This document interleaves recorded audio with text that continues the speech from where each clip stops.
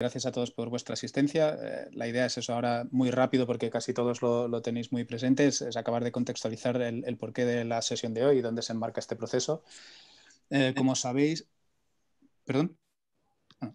Como sabéis, el, webinar de hoy se enmarca en el proceso participativo Imagina la, la Vila de Cáncer del 2030. En este proceso, que tiene como objetivo reflexionar con la ciudadanía sobre la estrategia del futuro de ciudad, eh, veremos un resultado en, forma de dos estrategias o dos proyectos. Estos dos proyectos son, por un lado, la estrategia Vila de Cans 2030 y, por el otro lado, la agenda urbana local.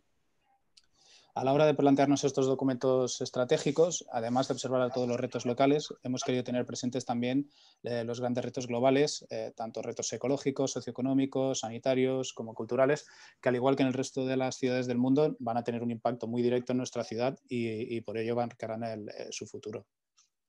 En este sentido, en los últimos... ¿Podéis retroceder? Perdón. Ah.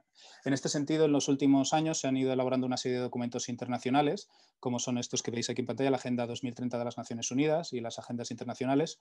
A continuación veremos que estos documentos tienen como objetivo dar respuesta a los retos que, os comentaba antes, impulsando un nuevo modelo de desarrollo que sea justo, eh, por un lado, con las personas y por otro, con el planeta. Eh, la Agenda 2030 eh, se aprobó en el año 2015 por parte de todos los Estados miembros de la ONU. En la agenda se definían 17 objetivos de desarrollo sostenible, eh, que son los conocidos ODS, que todos tenéis muy presentes. Estos ODS se definían para hacer frente a los grandes retos actuales y conseguir un desarrollo sostenible de cara al 2030, todo ello sin dejar a nadie detrás, es decir, garantizando la sostenibilidad en la triple visión que tiene de visión social, ambiental y económica. Además, tal y como se apunta en la propia Agenda 2030, todo el mundo puede y tiene que contribuir a, lograr estos hitos, eh, desde los estados, a las regiones y las ciudades, al sector privado, tejido asociativo, así como los ciudadanos a nivel individual. Después de la aprobación de este documento, de la Agenda 2030 y de los Objetivos de Desarrollo Sostenible, se han ido formulando varias agendas eh, urbanas internacionales, como son la nueva Agenda Urbana de las Naciones Unidas, eh, la Agenda Urbana de la Unión Europea y a nivel estatal la Agenda Urbana Española uno de los principales objetivos de estas agendas es eh, la transposición de los objetivos de desarrollo sostenible al ámbito urbano. La idea es conseguir un desarrollo sostenible al nivel de las ciudades, dado que no, hay que olvidar que es en las ciudades donde reside, donde vive la mayor parte de la población mundial. Entonces es en este contexto, ¿no? teniendo en cuenta las directrices que se nos marcan desde estas agendas internacionales que os comentaba, que Viladecans inicia el proceso de elaborar estos dos documentos, la Estrategia Viladecans 2030 y la Agenda Urbana Local. Eh, por parte de la Estrategia Aura Vila de Cans 2030, em, este es un proyecto que deberá definir cómo será la ciudad en el año 2030, teniendo en cuenta las principales agendas internacionales y que estará enfocado en los cinco grandes ejes estratégicos de ciudad, que son el eje de innovación educativa, el eje de dinamización económica, el eje de transición ecológica, el eje del estilo de vida saludable y calidad de vida y finalmente el eje de resiliencia para la gestión de la crisis. En cuanto a la agenda urbana y su plan de acción, estos dos, este documento eh, deberá trasladar los objetivos globales que se fijen desde los organismos internacionales y nacionales a la realidad de nuestra ciudad. Entonces, esto se hará mediante fijar una serie de actuaciones concretas que se desarrollarán en Vila de Cans hasta el año 2030. Em, habría que destacar que el año pasado, en el 2020, el Ayuntamiento de Vila de Cans se adhirió a un convenio con el Ministerio de Transportes, Movilidad y Agenda Urbana del Gobierno español para ser una de las ciudades piloto en la elaboración de una agenda urbana. Entonces, seremos una de las primeras eh, ciudades que, se, encararán, que harán frente a este reto. Y para abordarlo, además de los cinco ejes de ciudad que os comentaba, que son comunes con el, proyecto de la Estrategia de Cans 2030, desde la agenda urbana local incorporamos al proceso de reflexión tres nuevos ejes. Estos ejes son relativos al de la vivienda, concretamente el reto de garantizar el acceso a la vivienda, que es uno de los objetivos, el objetivo número 8 de la Agenda Urbana Española. Otro de ellos es la movilidad, en especial el reto de favorecer la, proximidad y la movilidad sostenible, que es el objetivo estratégico número 5 de la, Agenda Urbana.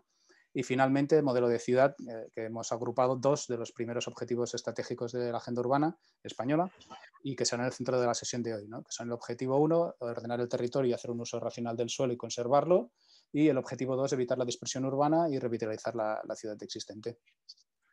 Para acabar, es, muy importante dejar claro y, destacar que la cohesión, la inclusión, eh, la innovación social, así como la igualdad de género, son unos conceptos transversales en estos ocho ejes que os comentaba.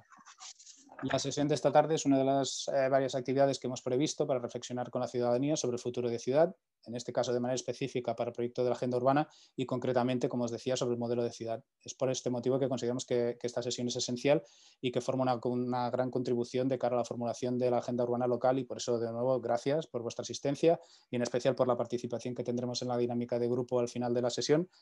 Y sin más, y para no repetir eh, demasiadas veces este, esta presentación que todos conocéis muy bien, le devuelvo la palabra a Iván. Gracias.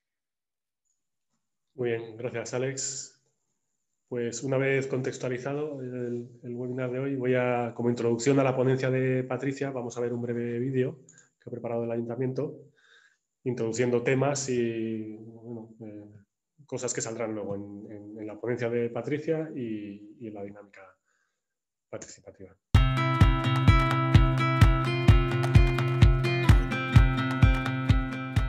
A Viladecans continuem treballant per un futur millor. Més enllà dels 17 objectius de desenvolupament sostenible marcats en l'Agenda 2030 per l'ONU, hem establert tres nous eixos de treball per seguir desenvolupant la Viladecans del futur. Aquests tres eixos seran clau en la formulació de l'agenda urbana local.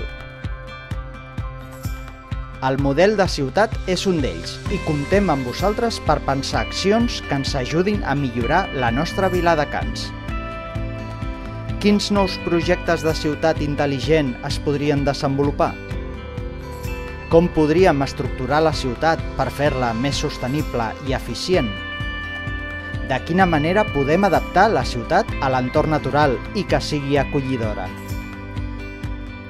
Què ens cal per fomentar la cohesió social a la ciutat? Com garantim l'accessibilitat i la qualitat dels espais públics? Com podem potenciar el coneixement del patrimoni natural, històric i cultural? Ajuda'ns a decidir quin futur és millor per la nostra ciutat.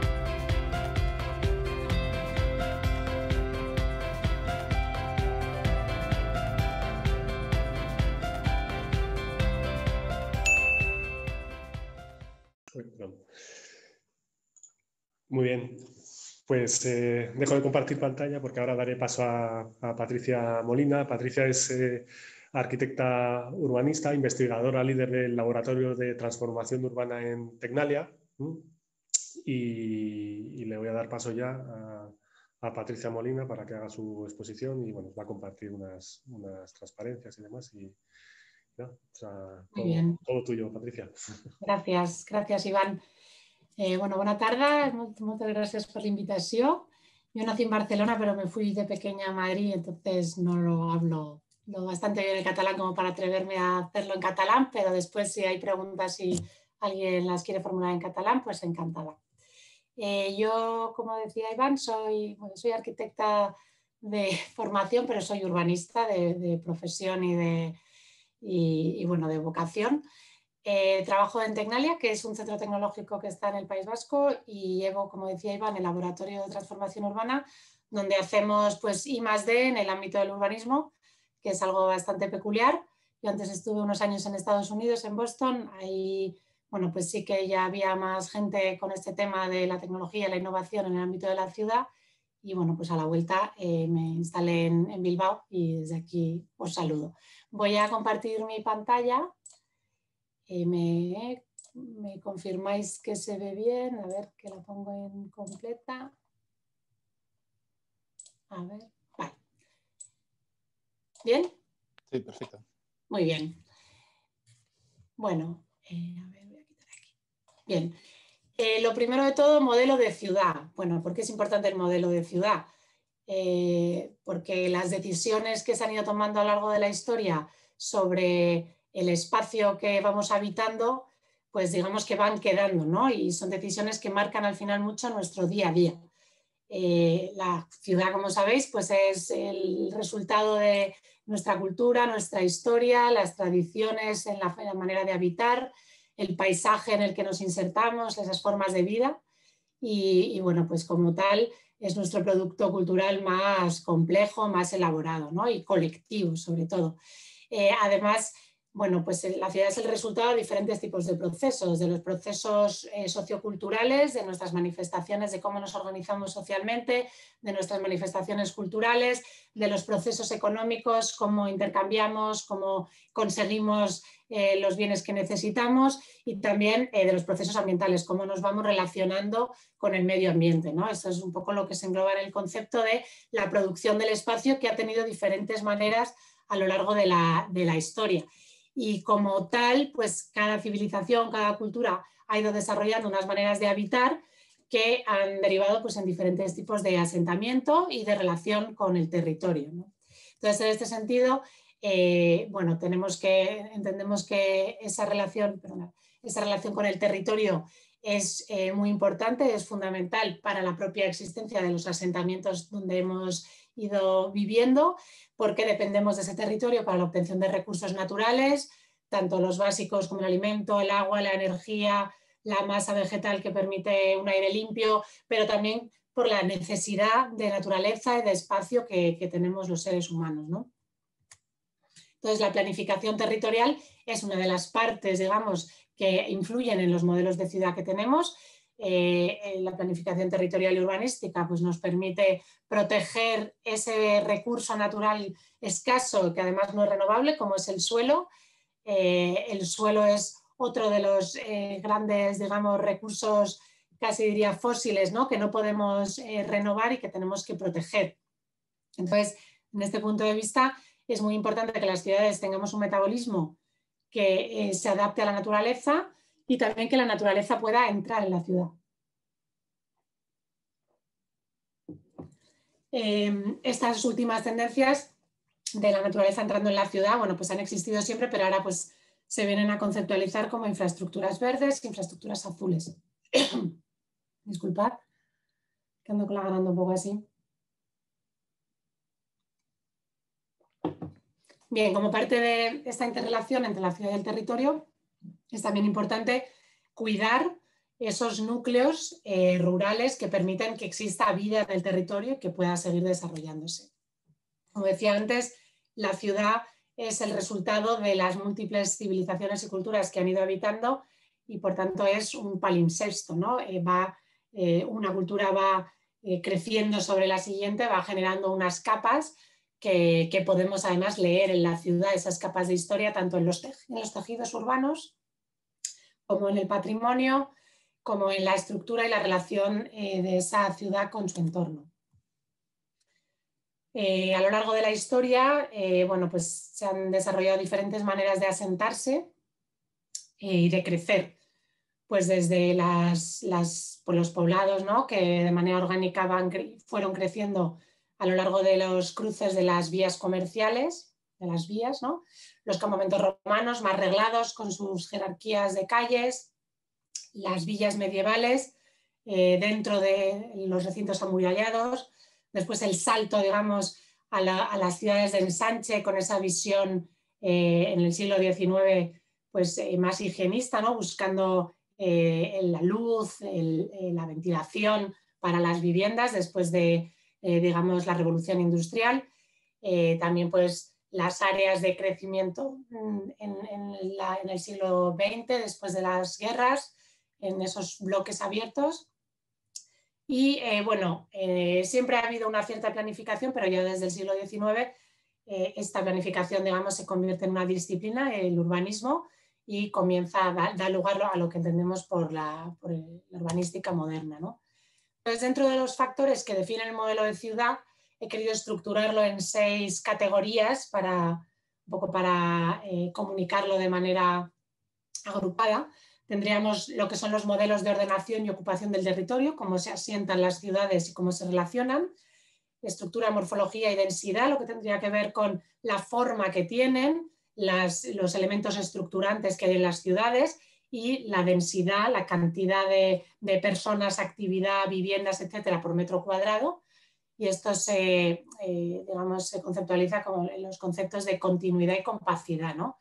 como de continuo es un, espacio urbano y como de compacto. El tercer elemento sería la mezcla de usos y funciones, que nos habla de la complejidad del espacio urbano, los sistemas de movilidad de los que dispone este modelo, este modelo urbano, los equipamientos públicos y las características y dotación de espacio público. Entonces voy a ir una por una dando algunas pinceladas.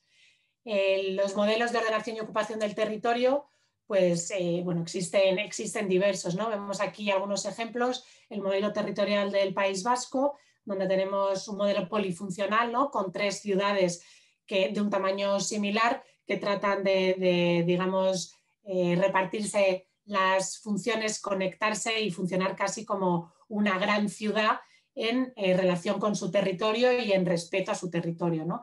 Vemos también, conocéis el Plan General Metropolitano del Área Metropolitana de Barcelona, donde también desde hace ya décadas se trata de eh, ordenar el territorio y toda la conurbación urbana más allá de los límites municipales. ¿no? Y arriba vemos un poco una, visión del crecimiento urbano de, de la conurbación madrileña, eh, donde se ve el suelo, esto es un, estudio que hicimos a principios del 2001, donde se veía el, todo el suelo que se había ocupado hasta el 2001 y las previsiones de crecimiento. ¿no? Esto lo hacíamos eh, como una crítica a esa expansión y a ese consumo acelerado de suelo urbano que se produjo en, en la época del boom inmobiliario. Entonces, bueno, vemos que hay diferentes, diferentes enfoques, pero en definitiva lo que estamos hablando es cómo nos asentamos, si nos asentamos en grandes núcleos, si nos asentamos en núcleos policéntricos, eh, cómo se produce esa ocupación del territorio, a qué ritmo, con qué consumo de suelo. Eh, por otro lado estaría eh, lo que ya es la estructura y la morfología de las, de, las, ciudades. Esto influye mucho, también el, tema de la, de la densidad es crítico cuántas actividades, personas, eh, digamos, agrupemos por metro cuadrado de suelo ocupado, pues nos va a hablar de eh, también las distancias que tenemos que recorrer para poder acceder a determinadas funciones. También nos va a estructurar cómo es el espacio resultante, digamos, el vacío que queda eh, de, fuera de lo que es la, ocupación de la edificación y qué características tienes. ¿no? Entonces, es muy diferente una ciudad eh, una parte de la ciudad donde estamos hablando de un ensanche con eh, las edificaciones con una alineación muy clara, eh, que si estamos hablando de un área poco densa, dispersa, pues como vemos en, la imagen de, chalets pues extendidos por el territorio donde para cualquier intercambio prácticamente hay que coger un medio motorizado de transporte o áreas que quizá también son densas, de bloque abierto, donde el espacio público, eh, pues en ciertos, en ciertos aspectos se puede desdibujar, eh, en otros, digamos, eh, se amplía, ¿no? y es, más posible, por ejemplo, mantener visuales hacia el exterior de la ciudad, etc. Entonces, cada estructura, cada morfología nos da una experiencia urbana, pero también nos habla de la capacidad de agrupar funciones. Esto nos llevaría al tercer punto, que es la mezcla de usos y funciones es decir, la complejidad de un espacio urbano. Eh, cuantos más usos tengamos mezclados, eh, pues eh, más vamos a poder satisfacer las necesidades, sobre todo de vida cotidiana, en un espacio más reducido y por tanto vamos a reducir las necesidades de desplazamiento. Entonces, bueno, pues hemos vivido épocas donde de manera natural, de manera orgánica, los usos se superponían y pensamos en los edificios de los cascos antiguos y tradicionales, donde en las plantas bajas había comercio, en las plantas intermedias había un determinado tipo de actividades o de viviendas para un determinado eh, tipo de familias, en otras plantas había otras, entonces se producía una mezcla de toda clase, una mezcla social, una mezcla de actividades. Vivimos después épocas en el movimiento moderno, ya en el siglo XX, donde eh, por la disciplina urbanística se trató un poco de racionalizar y separar funciones eh, pues, eh, todas las, propuestas, por ejemplo, de Le Corbusier, ¿no? donde se separaban las funciones de habitar, trabajar, eh, el ocio, la circulación, etc. Y, esto bueno, pues produjo algunos efectos en la ciudad donde además pues empezaron a multiplicar, a disparar las necesidades de desplazamiento. Esto además coincidió con una nueva tecnología, el coche motorizado, que permitió estos modelos urbanos hasta que bueno, nos hemos dado cuenta del coste que tiene esto ¿no? y estamos un poco yendo para atrás. Eh, vemos un ejemplo de un espacio eh, comercial, en este caso en las afueras de Madrid, que responde perfectamente todavía a este modelo que ahora ya parece obsoleto de separación muy clara de funciones, con además una utilización muy ineficiente del territorio porque se van, digamos, colocando usos de manera pues separada y por supuesto hay que coger el coche, hay que trasladarse hasta allí en coche y hay que reservar un gran espacio para poder aparcar. ¿no? Entonces, bueno, pues ahora como decía, la tendencia es todo lo contrario, ¿no? a buscar la proximidad, la mezcla de usos, usos y funciones en el espacio urbano. Muy vinculado al punto anterior, eh, el modelo de ciudad queda muy marcado por los sistemas de movilidad que se hayan, que se hayan estructurado. ¿no? ¿Qué necesidades, en función de, ese, de, esa ubicación de los diferentes usos, qué necesidades de transporte eh, se, se producen?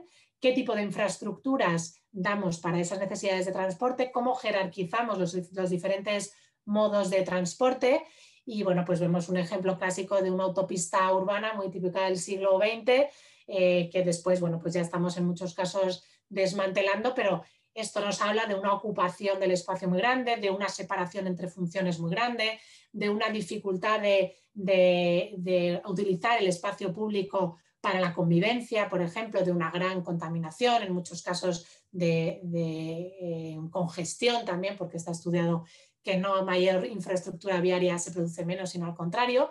También incluso en infraestructuras eh, quizá no tan sobredimensionadas como vemos arriba a la derecha, eh, como las calles de, los tejidos más históricos, depende de cómo distribuyamos ese espacio, estamos dando prioridad a unos modos de movilidad frente a otros. ¿no? Y esto es un, caso muy típico de ciudades donde el 80 o 90% de los metros que tenemos en la calzada están dedicados al coche, bien circulando, bien aparcando y otros usuarios, como podemos ser las personas, modos de movilidad activos o no contaminantes, etcétera, pues quedamos completamente relegados. ¿no?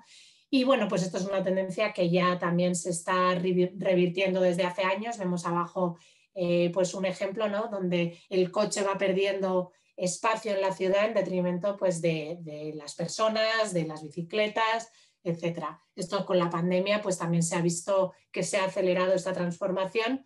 Bueno, pues que hemos redescubierto el valor de la proximidad y de las cosas que podemos hacer cerca de nuestras de nuestras viviendas y también porque hemos redescubierto el valor de, pasear en la ciudad.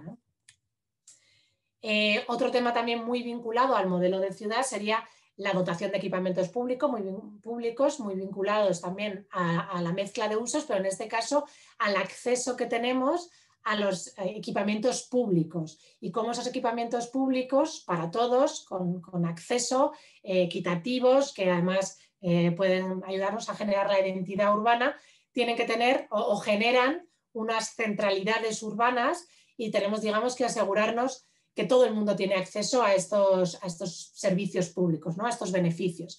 Entonces, eh, pues he rescatado aquí el, Plan General del 85 de Madrid, que fue el primer plan general de la democracia que se fraguó eh, muy vinculado a los movimientos sociales y donde una de las una de las claves o de las reivindicaciones clave era el reequilibrio territorial de la ciudad eh, para que todos los barrios de Madrid tuvieran esa centralidad, tuvieran ese acceso a equipamientos y se rompiera un poco la dinámica centro-periferia que existía de manera muy marcada. Bueno, pues esto es una de las banderas que se hizo eh, como, como, bandera democrática del primer, del primer consistorio. Vemos también eh, espacios como pueden ser el Magma, que está ubicado en el Raval de Barcelona, como conoceréis, donde se mezclan y se ha mezclado desde el principio pues, eh, los visitantes que quizá antes jamás hubieran entrado en un, barrio como el Raval, eh, con los propios habitantes del barrio, ¿no? Y donde además, pues, además de que vemos aquí el MACBA, pues está el CCCB, está otra, una serie de equipamientos que generan una centralidad que no solo están pensados para el turista, sino que también eh, pues quieren dar un servicio al barrio. Y aquí pues, bueno, se han generado muchas dinámicas que a veces generan conflictos, como, como es normal en la ciudad, ciudad espacio de conflicto, pero también de convivencia. Vemos otros ejemplos a la derecha, como puede ser la recuperación de patrimonio industrial en Zaragoza con el equipamiento de la harinera, donde además se han incorporado espacios para la experimentación, la innovación, la tecnología abiertos a toda la ciudadanía, con esa idea de, por un lado, recuperar eh, patrimonio eh, cultural, industrial, abrirlo a la ciudadanía y convertirlo en un, espacio cultural. Eh, otro de los puntos, de los elementos fundamentales en el modelo de ciudad es qué dotación y qué características tiene el espacio público en una ciudad. Y el espacio público tenemos que entenderlo como el lugar en el que podemos encontrarnos, en el que se produce la diversidad, la complejidad de la vida urbana.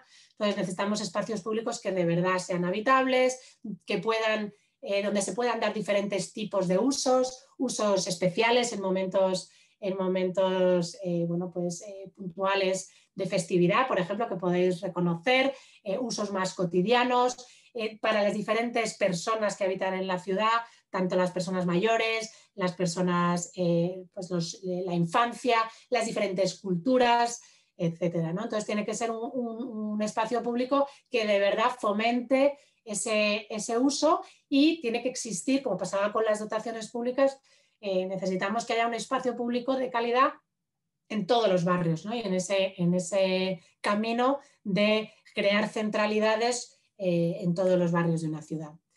Bueno, pues una vez que hemos visto los ingredientes, digamos, del modelo, de los modelos de ciudad, eh, ¿qué pasa? Tenemos, heredamos un modelo de ciudad, como decía, es un palincesto con muchas capas. ¿Cómo lo transformamos? ¿Cómo nos adaptamos? ¿Cómo adaptamos esa ciudad heredada, por ejemplo, la del siglo XX, ¿no? que ya he contado que tiene algunas, algunas cosas a cambiar? Eh, ¿Cómo la adaptamos además a los retos y a las necesidades actuales? Cambios muy rápidos como la globalización económica, la urbanización creciente, que en nuestro caso, por ejemplo, en Europa eh, no notamos tanto porque incluso estamos en algunos casos decreciendo a nivel urbano, pero eh, en el mundo a nivel, a nivel agregado eh, la urbanización es exponencial, cada vez somos más personas viviendo en ciudades y crecen las megalópolis a, una gran velocidad, ¿no? y eso también es un reto. La crisis climática, por supuesto, donde estamos llegando ya a unos puntos de no retorno en cuanto a nuestra extracción de, bueno, pues de recursos y, nuestra generación pues de, externalidades hacia el medio ambiente que nos, están pidiendo un, cambio rapidísimo. ¿no? Y en ese aspecto las ciudades, pues como, como han dicho muchos expertos muchas veces, son parte del problema, pero también parte, eh, parte de la solución, una parte muy importante de la solución, porque es aquí donde donde se producen la mayor parte de las actividades, de, digamos, de las actividades de impacto humano. Eh, la digitalización también es un, nuevo reto, es una oportunidad, pero también es un reto. Cómo, utilizamos para la mejora de las ciudades toda la capacidad, la generación de datos que estamos, que estamos viviendo y toda la, capacidad analítica exponencial también que tenemos, toda, toda esa digitalización de nuestra vida cotidiana, cómo la incorporamos para la mejora de las ciudades cómo incorporamos a esas estructuras urbanas nuestros nuevos modos de vida y trabajo que ya venían, digamos, modificándose de manera más orgánica y, por ejemplo, con la pandemia, pues nos ha dado la vuelta, ¿no? Y entonces, cómo repensamos los espacios domésticos para el teletrabajo, cómo repensamos las actividades para, que la ciudad, digamos, se, pueda adaptar. Cómo nos adaptamos, eh, sobre todo aquí en Europa, a una población que envejece, bueno, no que envejece, sino que vive cada vez más, ¿no? Como agregadamente la población envejecemos y eh, pues queremos que, la ciudad siga siendo un espacio donde eso se pueda producir de manera autónoma, donde se pueda envejecer eh, de manera saludable, activa, manteniendo los vínculos con el territorio, con el espacio. ¿no? Aquí también se ha reflexionado mucho en los últimos tiempos con los modelos eh, pues con los modelos de residencias, por ejemplo, frente a modelos que priorizan el envejecer en casa con determinadas ayudas, lo cual permite mantener todos los lazos, todo el tejido social que tienen las personas mayores, etc. Y por supuesto también el gran reto de la desigualdad urbana que, bueno, que vemos claramente en nuestras ciudades y, que también hay que, hay que abordar, pues tratando de equilibrar esos territorios, tratando de acercar los beneficios de la vida urbana y ese derecho a la ciudad a todas las personas. Entonces, bueno, pues como, eh, digamos, acercamiento a esta transformación de la ciudad heredada, eh, manejamos el concepto de regeneración urbana, rehabilitación urbana, se ha llamado de diversas maneras, pero que lo que consiste es en esa transformación urbana para adaptarla a los nuevos retos. Entonces, la regeneración urbana para que realmente eh, pueda dar respuesta a todos estos, a estos retos, estas, a estas oportunidades, también tiene que tener un enfoque integrado eh, en este esquema, bueno, pues tratamos un poco de, ver qué significa este enfoque integrado. Significa que tiene que ser integrado a nivel de las diferentes dimensiones. No basta solo con mirar lo físico, lo construido, el entorno urbano, hay que mirar el medio ambiente, el entorno social, el económico, toda la, actividad económica que se produce en la ciudad, el cultural, y además hay que hacerlo a las diferentes escalas, ¿no? de manera multiescalar. Hay que ver el territorio, hay que ver la ciudad, cómo la ciudad, eh, digamos, forma parte de un territorio, un área metropolitana, etcétera. Después están las unidades de la vida cotidiana, los barrios, eh, los edificios, las viviendas. Y además esta regeneración urbana tiene que ser multiagente. Tenemos que ser capaces de incorporar a la administración pública en sus diferentes niveles eh, y en sus diferentes áreas, ¿no? Eh, esa coordinación horizontal también dentro de los propios ayuntamientos es muy importante. En la sociedad civil, por supuesto, es muy importante involucrar desde el principio y también todo el sector privado, sin el cual no vamos a ser capaces de dinamizar toda esta transformación. Eh, como decía, pues la, regeneración urbana tiene que ser desde el principio, desde que se empieza a conceptualizar un proceso participado y bueno, por eso estamos aquí esta tarde. Eh, eh, además, para poder, digamos, abordar correctamente y aprovechar pues lo que decía, ¿no? toda la capacidad analítica que tenemos y los datos que tenemos, tenemos que partir de diagnósticos multidimensionales para priorizar áreas de intervención. Vemos aquí algunos ejemplos donde se ha eh, estudiado de manera combinada cómo están los edificios, cómo está el espacio público, cómo están las actividades económicas, cómo es el tejido social, cómo es desde el punto de vista demográfico, eh, económico, etcétera, ¿no? en, diferentes, eh, en diferentes casos. Veis, por ejemplo, Barcelona, un estudio que hizo la UPV, perdón, la, Politécnica, para pues, detectar las áreas más vulnerables de cara luego a eh, hacer una estrategia de regeneración urbana, o Castellón, donde en el propio proceso de revisión del plan general eh, se detectaron las áreas de rehabilitación, etc. Eh, algunos otros ejemplos que, vemos aquí, bueno, pues la rehabilitación de la vivienda, que es uno de los, de los elementos clave y, además muchas veces de los que son el revulsivo ¿no? para, la, para la revitalización de un barrio, pues eh, claro, la rehabilitación de la vivienda siendo un elemento muy importante, como decía antes, no puede realizarse sin eh, la participación de las personas que viven y los propietarios de esas viviendas, ¿no? Eh, sobre todo en, nuestros entornos donde la propiedad horizontal es mayoritaria. Entonces, bueno, pues estos son procesos largos, son procesos a los que quizá no estamos todavía del todo acostumbrados, pero que desde todas las instancias, desde Europa, el Green Deal, la ola de renovación, se nos está pidiendo que, aceleremos, que seamos capaces de realmente acelerar el ritmo de rehabilitación, duplicar el ritmo de rehabilitación, que tenemos y entonces hay que aprovechar para realmente hacer una rehabilitación integral. Eh, el tema de la eficiencia energética nos va a venir muy marcado por Europa, pero no podemos olvidar la accesibilidad, que es clave, por ejemplo, para ese envejecimiento activo del que hablaba. También la habitabilidad, como hemos visto también en, este, en estos tiempos de pandemia. Y, eh, pues como decía, por supuesto, contando con todas las personas que habitan. Eh, la movilidad, el espacio público son también, pues digamos, elementos como veíamos clave. Vemos transformaciones muy recientes, por ejemplo, en Viena o podéis reconocer ahí la de Cannes. esa transformación del espacio público es fundamental para, para, que realmente la regeneración urbana dé un vuelco a, esas áreas de la ciudad. No basta solo con mejorar nuestras viviendas si luego salimos a la calle y no hay espacio para, para el disfrute. ¿no? Y ya por ir terminando, eh, como comentaban también al principio, eh, esto, un poco el tema del modelo de ciudad está recogido en la Agenda Urbana Española en los dos primeros objetivos, eh, ordenar territorio, hacer un uso racional del suelo, conservarlo, protegerlo, evitar la dispersión urbana, revitalizar la ciudad existente. Y un poco quería ya como para, para finalizar y para propiciar también un poco el debate y la, y la dinámica que tendréis después, dar algunas eh, pues líneas de actuación que creo que pueden ser relevantes en el caso de vida de Cans, un poco agrupadas. ¿no? En, el ámbito de la compacidad, pues muy importante revisar esos procesos de ocupación, favorecer la transformación del suelo con una densidad adecuada, eh, asegurar con el planeamiento urbanístico que realmente esa ocupación y ese uso de suelo se hace de manera eficiente, mirando los usos compatibles a escala de barrio, Ahí hay un reto sobre todo con la compatibilidad de usos industriales, usos residenciales, usos intermedios, también las nuevas actividades económicas. Tenemos que evaluar, por supuesto, en todas partes el coste de esa expansión urbana descontrolada, eh, pues bueno, porque, porque no nos sale gratis, digamos, ocupar el territorio como hemos visto, ¿no? Y eh, como decía también, muy importante el tema de las zonas industriales que quizá han quedado en desuso, en algunos casos se pueden reedificar, redensificar, eh, se puede reutilizar ese, pues los, incluso los edificios que hayan podido quedar con el, aprovechando el valor patrimonial que puedan tener, eh, etcétera. ¿no? Para eso hay que conocerlo, hay que mapearlo.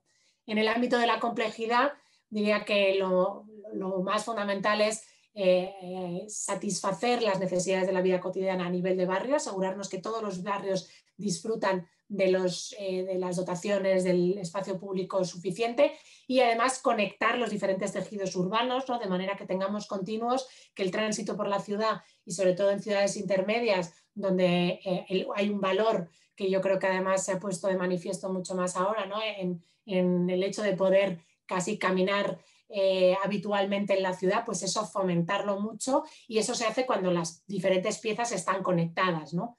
Eh, también, bueno, pues incentivar actividades que favorezcan la diversidad de usos, evitar, eh, digamos, terciarizar determinadas piezas de, una ciudad, incluso gentrificar determinadas áreas, ¿no? Equilibrando esos usos residenciales, usos terciarios y favorecer la mezcla de usos, además de, digamos, en, el, en, la ciudad, también en los edificios, como decía antes, ¿no? como existía, como existe en los tejidos tradicionales, porque eso va realmente a permitir una mayor flexibilidad y responder a, las demandas que como vemos los cambios son tan rápidos que también nuestros tejidos tienen que ser capaces de adaptarse rápidamente.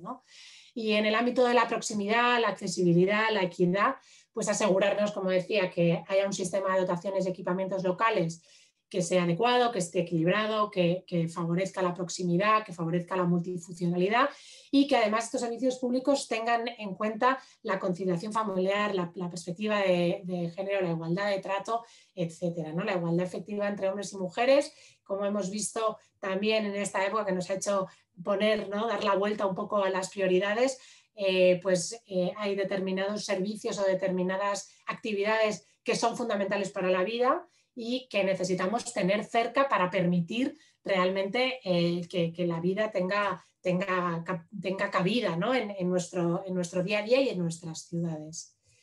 Y con esto ya dejaría abierto para las preguntas, el debate o lo que, lo que queráis comentar. Gracias. Muy bien, pues muchas gracias, eh, Patricia. Mm, yo creo que sí que ha sido inspiradora.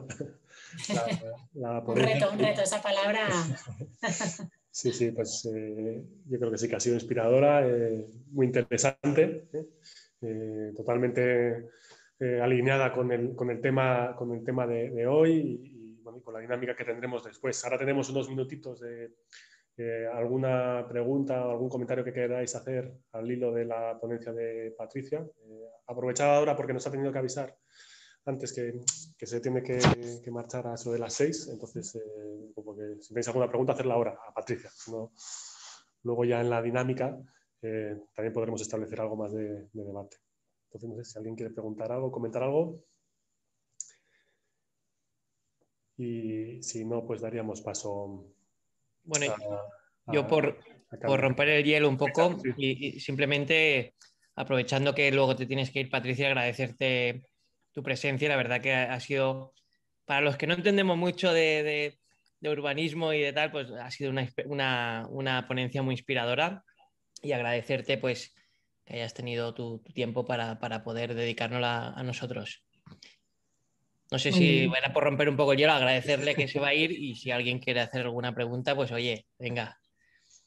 Es un lujo tener aquí a Patricia. Bueno, yo también aprovecho para decir que en Vila de Cans estáis haciendo un montón de cosas súper interesantes. He podido así ponerme un poquito al día. Eh, con Iván también, que me ha, compartido algunas cosas. Y bueno, yo creo que, y otras que conozco, ¿no? otras actividades que tenéis, no solo en el ámbito este de la agenda urbana. Y bueno, que, muy bien, vamos. Eh, da gusto ver tanto dinamismo en, ciudades también, que quizá a veces eh, por ser ciudades intermedias, parte igual de un área metropolitana, quizás se oye menos, pero donde se están haciendo cosas súper innovadoras y, muy bien enfocadas. Sí, la verdad, se agradece, ¿eh? porque la, verdad que nosotros en el día a día, pues claro, solo pues estamos para recibir, lógicamente, quejas y tal, pero cuando viene alguien de fuera y en estos webinars, además, nos ha ido bien porque, porque bueno, habéis venido gente experta y gente de fuera que nos ha aportado su experiencia y además ha valorado positivamente pues eh, lo que hacemos aquí en Cans, que bueno, que lógicamente es nuestra, nuestra tarea, pero, pero de alguna manera u otra pues te anima a seguir luchando en lo que, en lo que nos toca, ¿no? Así que gracias. Patricia, solo, solo un tema que, que quizás es un poco específico, pero seguramente de las cuestiones que, que, tendremos más dificultades en los próximos tiempos es ver qué pasa con las plantas bajas. Eh, las plantas bajas de, de las ciudades son un poco el, bueno, el, ensanchamiento natural de las calles y es el lugar más propicio para la relación entre las personas, ya sea porque el edificio es público o porque los edificios son privados y nosotros venimos de una cultura que, que muchas de las actividades comerciales y de relación, de la restauración, etcétera, se, da, se dan en la planta baja. Ahora estamos en una situación que, que por, por, la necesidad de, permanecer en los propios municipios hemos ocupado la, las calles los ciudadanos hemos ocupado las calles, diferentes gobiernos municipales han tenido que tomar medidas extraordinarias, algunas con un apelativo más simpático de urbanismo táctico, otras de urbanismo eh, sobrevenido o lo que sea, pero la verdad es que de momento la mayoría de, del recinto de la calle está cerrado. Eh, ya veremos qué, qué, escenario nos encontraremos a, a, medio, a medio plazo. Esperemos que a largo plazo se pueda recuperar, pero sí que es cierto también que en paralelo se está produciendo un cierto cambio de, de paradigma del comercio. Ya hubo, como has mostrado en la propia presentación, esta, esta proliferación de, de, superficies de medianas o otros emplazamientos comerciales de formato más, eh, bueno, más especializado y más intensivo. Eh, más o menos se ha sobrevivido, pero claro, cada vez los medios van sobreviviendo un poco como la radio sobrevive, la tele sobrevive, pero cada vez hay menos gente oyendo la radio, menos gente viendo la tele y hay un desplazamiento modal para los usos y esto debilita en cierta parte, en cierto modo, yo creo, los modelos de ciudad que en principio no son más propios a nosotros que, que nuestros referentes en, cierto modo y lógicamente la, la ciudad mediterránea.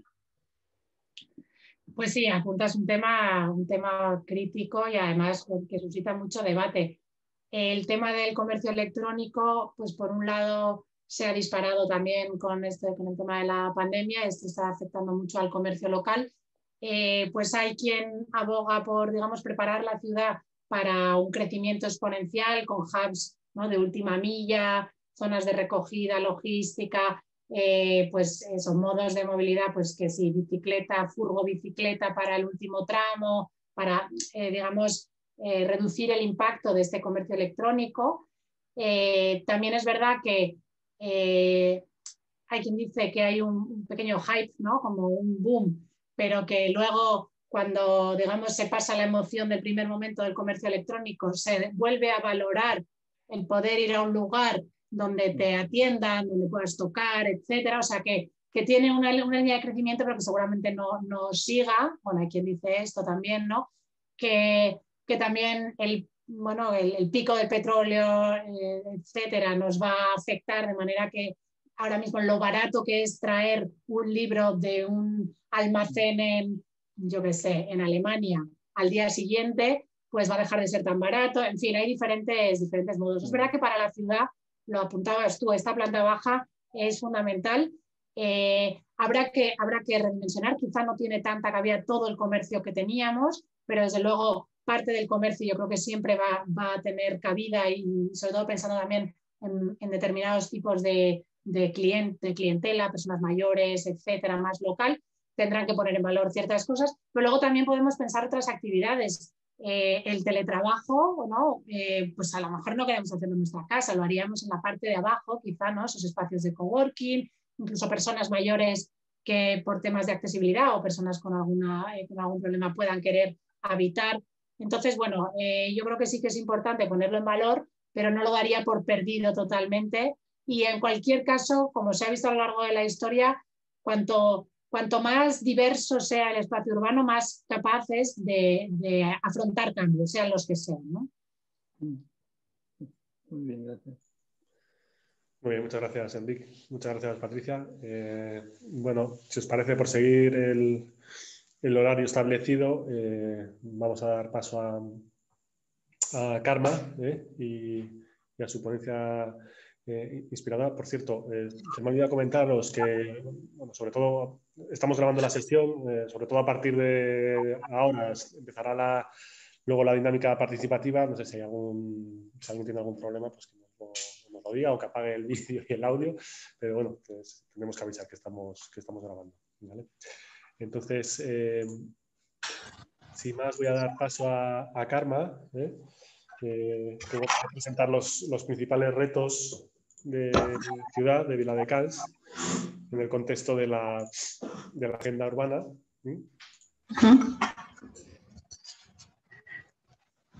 Muy bien, pues. Y tenemos nosotros la presentación, Karma, eh, pero bueno, eh, lo, vamos pasando nosotros, eh, según vayas. Muy, muy, bien, pues gracias, muy amable. Bueno, en principio, gracias a todos y a todas por la asistencia, porque realmente después de comer en este corto plazo que tenemos de, de haber trabajado, comer y volver a empezar otra vez, pues se ha de agradecer todos estos webinars que estamos haciendo, pues lo que pretendemos es tener una asistencia en la cual, bueno, pues podamos explicar qué es lo que queremos hacer para nuestra ciudad, ¿no? Y en este caso, pues, bueno, el modelo de ciudad es el que toca hoy y que con esto Enrique también comentaba, pues que, bueno, daríamos por finalizado esta temática, ¿no? Y, bueno, y pasar en todo caso a explicar. Eh, te agradezco muchísimo, Patricia, la explicación. Realmente ha sido muy interesante. Es una lástima que te tengas que marchar tan pronto, pero lo entendemos. Lógicamente, eh, también hay vida después del trabajo y, por tanto, también la familia también está. Y lo que deberíamos de tener muy en cuenta, que es de alguna de las cosas más principales que tenemos ¿eh? y no lo debemos de perder de vista. Por tanto, muchas gracias. Muy interesante lo que acabas de decir de las plantas bajas. La pregunta de Enrique ha sido eh, buenísima porque sí que es bien verdad que es un problema, es un problema que se tendrá que abordar. El tema del comercio, como también decías, pues eh, ha cambiado, cambia y cambiará. O sea, el tema, el tema online sí que es, hoy, hoy por hoy es un tema el cual debido a la pandemia se ha disparado pero también tenemos que pensar que veniendo de, donde venimos, de, ver eh, fuera de, nuestra, de nuestras fronteras eh, países tan grandes como Estados Unidos, en los cuales, eh, claro, las grandes dimensiones que tienen ahí sí que es necesario. Nosotros vivimos en un país en el cual nos gusta estar cerca de los nuestros o cerca de la gente y, por tanto, tenemos una cierta suerte para poder mantener nuestro comercio de proximidad y, compactar un poco la ciudad que realmente con todos los usos, como, como bien decías también. En todo caso, yo os pasaré un poquito pues, a explicaros el porqué de la temática de hoy y, explicaré un poquito también de, nuestro modelo de ciudad. Debemos tener en cuenta que las decisiones en la planificación urbana pueden cambiar los entornos de las ciudades y que las decisiones afectan tanto a los lugares en los que se vive como los que se trabaja. Y tienen también una relación directa con la necesidad de desplazarse. Todos estos factores acaban jugando un papel muy determinante en el estilo de vida y en la salud de las personas. Es por eso por lo que es tan necesario que los objetivos de planificación tengan en consideración la equidad en sus procesos, que cuenten con participación comunitaria y que se desarrollen instrumentos que faciliten la constatación de los objetivos acordados y en todas las etapas, del trabajo. Una vez he comentado esto, seguiremos con una pregunta en relación al modelo urbano. ¿Cuáles son las principales características o ejes del modelo urbano más adecuado para las ciudades en general y para Viladecans en particular? Las características básicas de este modelo tienen que ver con la diversidad, intensidad y la mezcla de usos, como se comentaba, que el lenguaje técnico serían la compacidad, la complejidad y la eficiencia. Y por último, no por ello menos importante, la cohesión social en la búsqueda de la equidad y la igualdad de las oportunidades. La idea de proximidad de los diferentes componentes que conforman una ciudad, es decir, la necesidad de reunir un espacio, en un espacio muchos de los usos y las funciones urbanas se mide por la compacidad. Por lo tanto, una compacidad alta facilita el contacto, el intercambio y la comunicación, que son aspectos esenciales en una ciudad. La compacidad incide en gran medida en la forma física de la ciudad y, por tanto, tiene incidencia directa en otras características que definen el modelo de ciudad. La diversidad de usos en un mismo ámbito define la complejidad de la ciudad. Esta característica o eje del modelo urbano persigue el impulso de espacios de actividad económica de pequeña escala, como oficinas, pequeños negocios, locales comerciales de diverso formato, en compatibilidad con los usos residenciales. O, por ejemplo, la existencia cercana de los diversos servicios de bienestar colectivo como son la educación, la salud, el ocio o el deporte. La diversidad de usos también persigue la transformación de los tejidos industriales en espacios de ciudad mixta.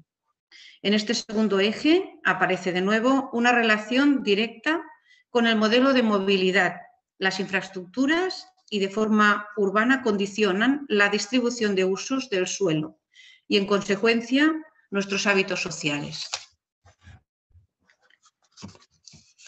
No debemos olvidar que para conseguir el modelo de ciudad más adecuado sería imprescindible y seguir actuando sobre la ciudad existente.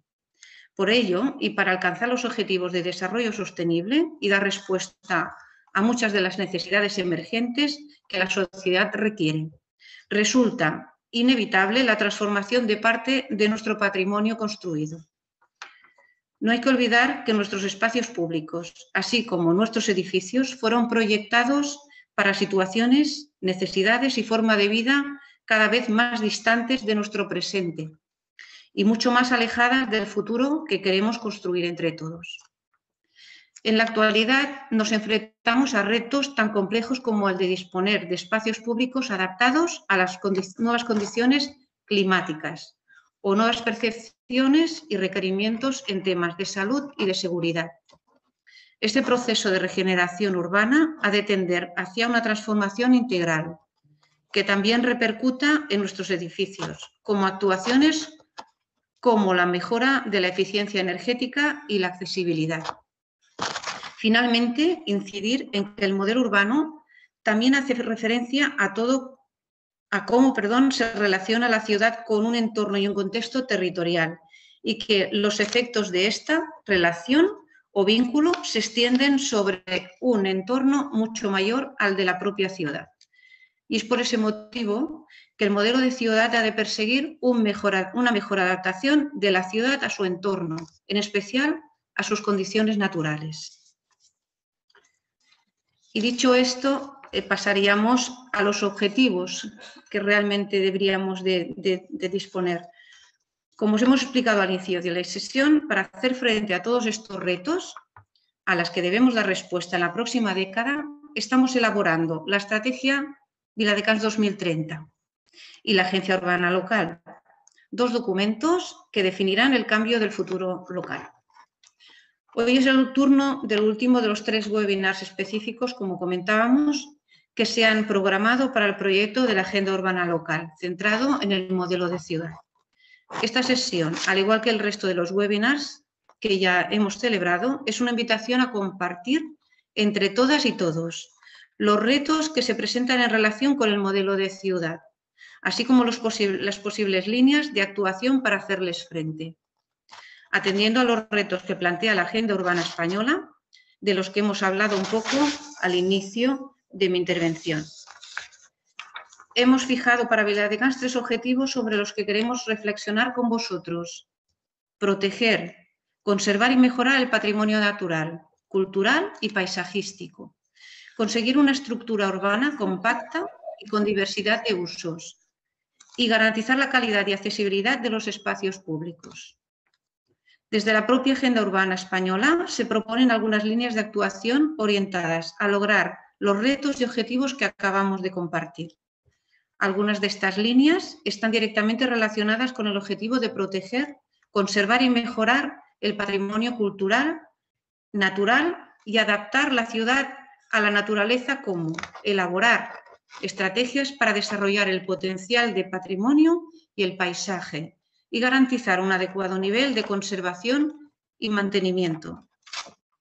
Otras estrategias propuestas para lograr los objetivos expuestos guardan relación con la diversidad de usos, como buscar la mezcla de tipologías y usos de la ciudad, consolidar mediante, la conexión de los tejidos urbanos o incentivar aquellas actividades que favorezcan la diversidad de usos o implementar medidas que permitan satisfacer las necesidades cotidianas de la población a nivel de barrio. Muchas gracias.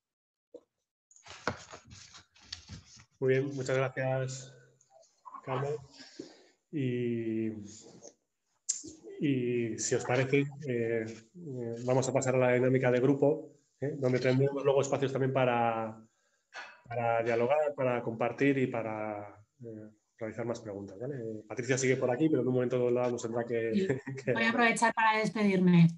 Gracias, hasta la próxima. Muchas gracias. Gracias, gracias Patricia. Hasta la próxima. Gracias. Entonces, continuando con eh, el orden establecido, eh, pasaríamos ahora a la dinámica participativa y paso a explicar un poquito. Eh, hemos preparado una dinámica que podemos hacer online a través de una herramienta informática. podéis ir accediendo a, esa dirección que veis ahí mediante vuestro teléfono móvil. ¿vale? Así luego podéis ver en pantalla eh, cómo va discurriendo la dinámica. Entonces, eh, si tenéis un móvil eh, a mano, un teléfono móvil a mano, os metéis en www.menti.com y, e introducís el, código que veis en pantalla. Y mientras lo hacéis voy explicando un poquito. El webinar de hoy se relaciona con el objetivo estratégico 1 y 2 de la Agenda Urbana Española, que habla de ordenación del territorio, modelo de ciudad, etc. Objetivo estratégico 1 ordenar el territorio y hacer un uso racional del suelo, conservarlo y protegerlo. Y objetivo estratégico 2, evitar la dispersión urbana y revitalizar la ciudad existente. Entonces, eh, la agenda urbana española, la, propia metodología de la agenda urbana española, propone un análisis DAFO, de debilidades, amenazas, fortalezas y oportunidades, sobre cada uno de los objetivos estratégicos de la propia agenda urbana. Es un análisis DAFO tipo para las ciudades españolas, para ciudades españolas de más de 5.000 habitantes, eh, que, el, Ministerio de Transportes, Movilidad y Agenda Urbana pues, eh, eh, hizo en su momento con pues, un proceso de, reflexión estratégica, etc. Entonces, de lo que se trata hoy con la metodología que os proponemos, ahora compartirle la pantalla ya para ir a la metodología mientras os metéis en, en, la página esta con el código, eh, lo que os proponemos es contrastar ese análisis DAFO que viene por la propia metodología de la agenda urbana para priorizar eh, una serie de sentencias, eh, de frases en formato análisis DAFO sobre cada uno de estos objetivos estratégicos. Entonces, si os parece, voy a ir cambiando a, la otra pantalla para mostraros en directo la dinámica para hacer la dinámica en directo. Eh, si alguien tiene algún problema, que nos lo comente por el, por el chat, estaremos eh, atentos. Y bueno, ya veo que os habéis conectado eh, al menos 10 personas, 11, ¿vale? En esta primera pregunta que os aparecerá ahí en el móvil, que es de, prueba, ¿vale? Y aquí en directo vosotros veréis las votaciones conjuntas que hacéis todos a la vez y, vamos a ir priorizando estos, estas sentencias. Vamos a, voy a ir dando paso, ¿vale? Porque, bueno, eh, más o menos creo que habéis votado todas las personas. Si hay alguien que me vaya un poco más retrasado, pues eh, puede ir avanzando luego las pantallas. ¿vale? Entonces, bien, comenzamos. ¿vale?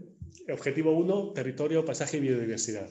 Como decía, se trata de contrastar el análisis DAFO que hace el Ministerio para ver cómo se adecua o no a las particularidades de, de Vila de Cans. Entonces, eh, os aparecerá ahora en la pantalla del móvil eh, una serie de afirmaciones sobre debilidades de Vila de Cans en materia de territorio, paisaje y biodiversidad. Se trata de que las vayáis eh, leyendo y podéis votarlas que estáis totalmente en desacuerdo o totalmente de acuerdo el 5. ¿no? Cero, totalmente de desacuerdo con la afirmación, ejemplo, orografía y estructura morfológica compleja, elementos físicos que condicionan la conectividad o el desarrollo. Pues podéis estar o en desacuerdo, totalmente en desacuerdo con el 0 o totalmente de acuerdo en el 5. ¿vale? Entonces, según vayáis votando, cada uno pues os aparecerá, aparecerá aquí en, esta pantalla que estamos compartiendo los resultados agregados. mientras vais leyendo y, votando, os, explico un poco, eh, bueno, por qué esta dinámica, ¿no? Eh, bueno, pues es para también hacer una parte participativa ¿no? de esta serie de, webinars. utilizamos metodología que viene de la, propia agenda urbana española. el Ayuntamiento de, de de Cans está en el proceso de elaboración de su estrategia 2030 con los objetivos de desarrollo sostenible y también está eh, bueno, pues, eh, desarrollando su estrategia su, de agenda urbana, ¿vale? Y para ello, pues bueno, tenemos que seguir un poco la metodología que propone el, Ministerio. ¿no? Además, siendo una ciudad piloto de, agenda urbana a nivel estatal, pues hay que seguir esa metodología porque siendo además eso, eh, ciudad piloto podrá acceder a, fondos extraordinarios de recuperación europeos y, demás. Entonces, esta información que nosotros, esta información la recopilamos nosotros a través de esta herramienta y nos sirve para particularizar luego el diagnóstico en formato agenda urbana que ya hemos hecho ¿eh? sobre, sobre Vila de Cans. Un, diagnóstico que en breve ya estará finalizado con estas aportaciones y que podremos compartir con todos vosotros, compartirá el, el ayuntamiento. Entonces, como veis, ya van apareciendo aquí los resultados. 10 eh, personas, cuando lleguemos a 11, que creo que eran las que estaban antes, pues ya pasamos, ¿no? O nos quedamos en 10, en 11 estamos ya. Vale, pues como veis, eh, lo que la debilidad con la que más está de acuerdo es el, deterioro ambiental de determinados entornos que puedan acarrear una pérdida de biodiversidad o un deterioro del paisaje y de la calidad de vida. Esa, por nombrar con la que se está más eh, de acuerdo a nivel grupal. Vale, y a continuación eh, os aparecerá en la pantalla del móvil la posibilidad de indicar tres palabras o, frases clave. ¿vale? Esto es para complementar un poco las debilidades que venían antes ya definidas, que repito, son debilidades eh, tipo identificadas por la propia metodología de la Agenda Urbana Española, y ahora es un espacio donde con más libertad podéis aportar otras debilidades ¿eh? que creáis que no estaban reflejadas o matizar lo que había salido antes o, indicar lo que a vuestro criterio es una debilidad en cuanto a, ordenación del territorio, eh, paisaje, eh, etcétera, en Vila de Cans, sobre estos temas. Aquí la idea es que, bueno, escribir en lo, que queráis, en, catalán, en castellano. lo único es que la, herramienta pues, va haciendo más grande aquellas palabras que coinciden. ¿vale? Bueno, eso es para que quede ya súper, como muy bonito, ¿no? Pero eh, eh, si no, van a ir apareciendo vuestras aportaciones. Eh, las podemos comentar ahora. También dará como pie a, debate por si alguien quiere matizar algo. Y, si no, pues bueno, quedará ahí la foto de la nube de ideas que, nos sirve a nosotros también para matizar ese análisis DAFO de, la agenda urbana y nos sirve también para matizar el, diagnóstico de la agenda urbana de, de Villa de Cans. ¿vale? Entonces, bueno, ya estáis, eh, ya estáis eh, apuntando ideas, creo que deja hasta 25 caracteres, me parece. Y ahora las iremos, las iremos viendo. ¿Vale? Entonces, bueno, eh, esta es la, la, dinámica tipo que tenemos preparada y, como veis, entonces repetiremos para el objetivo estratégico 1. Eh, repetiremos esto con las amenazas, oportunidades, eh, fortalezas y oportunidades. Y luego haremos lo mismo, contrastar este DAFO del objetivo estratégico 2. Para que tengáis un poco claro cuál es el, recorrido y vamos bien de tiempo, pero bueno, yo voy a ir agilizando un poco el tema para, para que no se nos vaya el horario fuera del, plazo que teníamos establecido. Vale, entonces veis que van saliendo, se van haciendo algunas palabras más grandes, eh, aparece en el centro el más grande cambio climático, transporte, eh, unidades transporte, contaminación, ¿vale? Más pequeñitos otras cosas, pero bueno, que son conceptos e ideas, envejecimiento de edificios, esto sale en el, diagnóstico además. Es uno de los problemas que hay en muchas ciudades a nivel estatal, ¿eh? transportes además grande, ¿vale? Y hemos votado 11 personas. ¿vale? Si alguien quiere comentar algo, ah, 12, estamos 12. Si alguien quiere comentar algo ahora, matizar algo de lo que sale aquí, ¿vale? Si no, pasaríamos a, al siguiente apartado, de amenazas para Vila de Cans en materia de territorio, paisaje y biodiversidad. Acordaros que estamos en el objetivo estratégico 1 de territorio, paisaje y biodiversidad y, ahora es eh, con qué amenazas relacionadas con este objetivo estratégico 1 estáis eh, totalmente de desacuerdo, el 0, o totalmente de acuerdo, el 5. Se trata de ir votándolas y, y así priorizamos.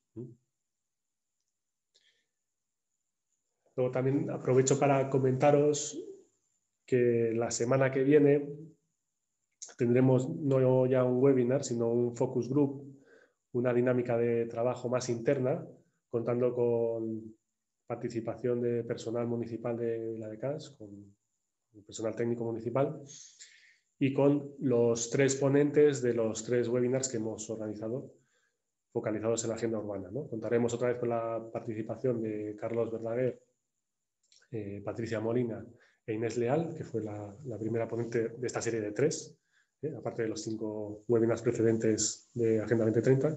Y haremos en la semana que viene un focus group, una dinámica de, trabajo con estas tres personas, con estos tres personas expertas en, urbanismo, en arquitectura, en ordenación del territorio y demás, junto con técnicos municipales, para trabajar eh, un poco, comenzar a trabajar propuestas de actuación eh, en el marco metodológico de la agenda urbana. Esto es eh, comenzar a definir posibles proyectos eh, que puedan incluirse dentro de la agenda urbana de Vila de Cas y dentro de estos objetivos estratégicos, el 1, el 2 y los de movilidad y vivienda que vimos el, otro día. Os lo comento para que, sepáis un poco el, recorrido del trabajo que tenemos entre manos, que es, como digo, una actividad, ese focus group más de trabajo más interna del, ayuntamiento. Tendremos la semana la semana que viene. ¿vale? Pues ya hemos votado 12 eh, y aparece aquí bastante eh, las que se están más de acuerdo, las debilidades. Déficit de medidas de protección, conservación de patrimonio natural, cultural, paisajístico. Eh, bueno, ahora más votada, con 13 personas ya votando. falta de flexibilidad en los instrumentos de planificación para adoptar medidas como por ejemplo corredores ecológicos, combatir la pérdida de biodiversidad, pues también una de las debilidades más, más votadas. ¿vale?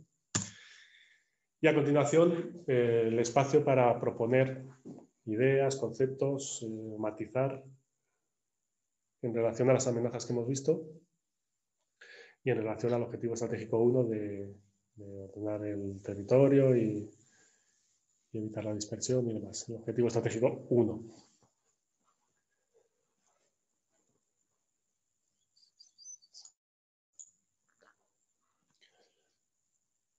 Y mientras tanto, si alguien quiere comentar algo o preguntarnos algo acerca de, bueno, en concreto la agenda urbana, que es el tema específico de estos tres webinars y próximos pasos o lo que sea, pues aquí, aquí estamos.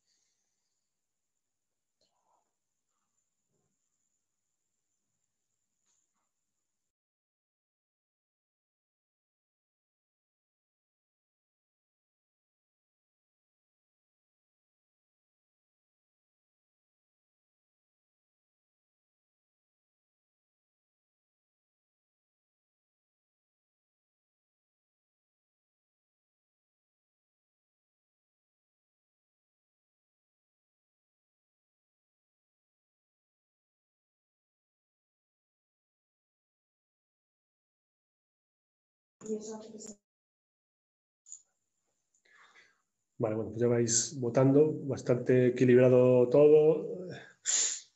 Amenazas, sale tema de deslocalización de usos, que se ha hecho más pequeñito ahora.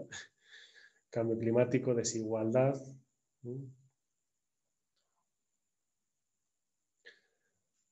Vuelve a salir el tema del envejecimiento de los edificios. Edad parque edificatorio, la misma idea cambio climático, dos veces, claro, en cuanto cambia un acento o algo, eh, te lo clasifica como palabra distinta, ¿no? Pero vemos que el cambio climático está ahí también muy, muy, presente, ¿no?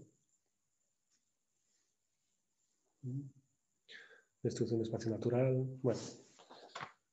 Ideas, conceptos, otras cosas que concretan un poco lo que propone la metodología de la Agenda Urbana Española y que, como decía, viene muy bien para matizar luego aspectos concretos del diagnóstico. Vale. Voy a ir pasando, como digo, para mantener un poco el ritmo. Creo que faltan un par de personas. Vamos a ir, vamos a ir pasando, ¿vale? Y pasaríamos ahora entonces a la parte positiva, digamos, del, DAFO, la parte de fortalezas, de fortalezas de Vila de Cans en materia de territorio, paisaje y biodiversidad. Entonces, como siempre, eh, votar con cuáles está totalmente en desacuerdo y con cuáles se está totalmente eh, de acuerdo. Cuáles sí tienen sentido, qué fortalezas son reales y tienen sentido en Vila de Cans y cuáles no, no, aplican, no tienen sentido no, o no veis que sea una fortaleza en Vila de Cans.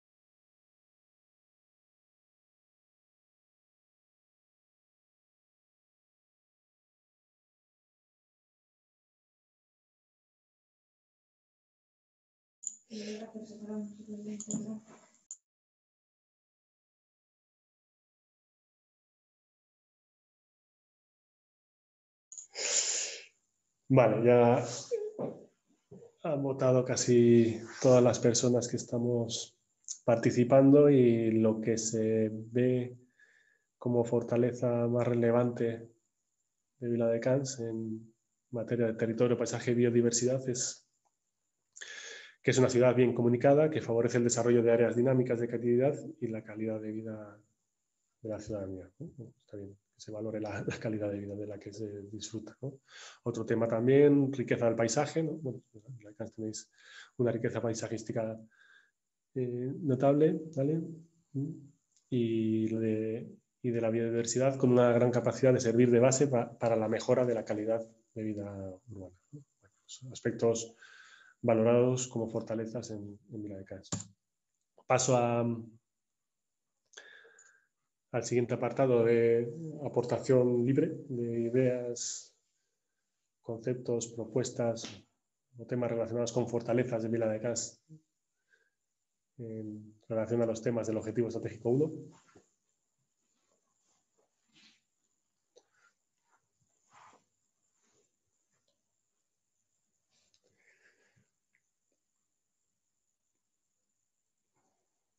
Y bueno, estas dinámicas, aparte de ser enriquecedoras, como decía, ¿no? para, y que nos, nos, sirve a nosotros como equipo redactor del diagnóstico para matizar aspectos de, de, ese diagnóstico, de ese documento, pues, eh, bueno, pues también refleja eh, un proceso participativo que también es un requisito del, del tema de la agenda urbana, de que se haya participado un poco la, la elaboración de la, de la estrategia.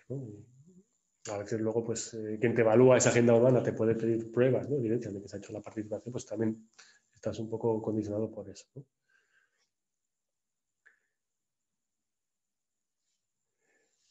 Vale, como fortalezas clave aparece el tema de la comunicación, la ubicación territorial estratégica de, Vila de Cans, ¿eh? Eh, una fortaleza, patrimonio natural, aparece relacionado con la Red Natura 2000, que tenéis espacios de Red Natura 2000, ¿eh? el, parque, el parque agrario que tenéis en, toda la comarca, ¿eh? ciudad compacta, bueno, temas interesantes que complementan el, el análisis DAFO. Ahora me aparecen 14 personas, cada vez votamos más. Está bien. Muy bien, pues pasaríamos al último bloque de este objetivo estratégico 1. ¿eh? Vamos, vamos bien de tiempo, ¿eh? luego yo creo que va a haber tiempo para también otro turno de preguntas, eh, debate. Entonces voy a dar paso a, al último bloque del objetivo estratégico 1. ¿eh? ¿Qué oportunidades de Vila de Cans en, materia de territorio, paisaje y biodiversidad consideráis estáis más en, desacuerdo o, o, de acuerdo? ¿vale?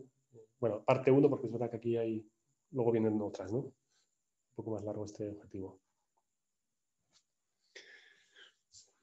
quizás el, el, tema de hoy, del webinar de hoy, de la dinámica de hoy es, eh, casi como el, no sé si el más, el más amplio, ¿no? pero eh, bajo el tema de ordenación del territorio, del modelo de ciudad, etcétera, pues cabe todo, ¿no? Lo que es una, ciudad. es como el, tema más, más complejo, ¿eh?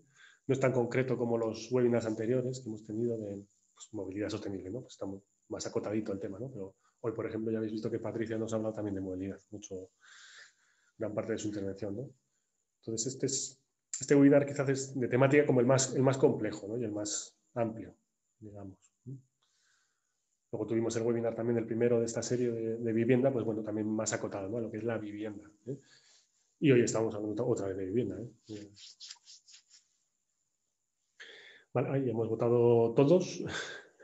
Eh, lo más, con lo que se está más de acuerdo en cuanto a oportunidad de Vila de Cans es la conexión de la ciudad con el entorno rural, recuperando espacios degradados y convirtiéndolos en zonas verdes en conexión con los activos naturales, como el aspecto más valorado en cuanto a oportunidades y una segunda parte de oportunidades. ¿vale? Esto es, no sé, tiene más desarrollo en, en, lo que es la agenda urbana española y, lo tendríamos que desagregar en dos partes. Pero son también oportunidades y es lo mismo, votar con cuáles está eh, de acuerdo y con cuáles están en desacuerdo.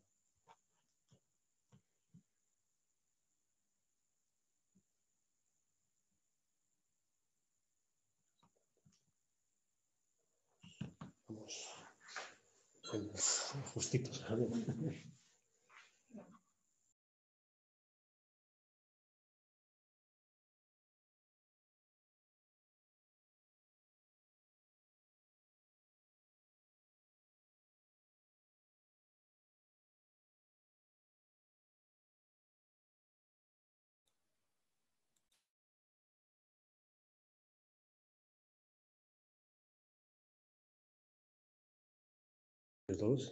Ya ves, está diciendo muy rápido. o sea, que bien. ¿eh? Eh, sí, por ejemplo, aquí veis eh, la última sentencia, que es existencia de un plan contra la despoblación. Bueno, pues la agenda urbana, aunque es urbana, también tiene sus guiños a rural, ¿no? una metodología que se puede adaptar al entorno rural, ¿no? esa última sentencia está más pensada para eso. Pues no, aplica tanto, ¿no? Para, para Vila de Cas, que sí que tiene su, entorno natural, eh, rural, digamos, pero bueno, no es, una población eh, eh, rural. Lo más, con lo que más está de acuerdo es que es una oportunidad el medio natural, el paisaje y el patrimonio como base para un turismo sostenible, respetuoso con el medio ambiente, no consumidor de, recursos. ¿no? Tenéis, consideráis que tenéis ese, potencial. Y ahora ya sí, para terminar este bloque del, del objetivo estratégico 1, eh, la parte de indicar otras oportunidades eh, en clave conceptos, de temas, de frases o de lo que consideréis oportuno.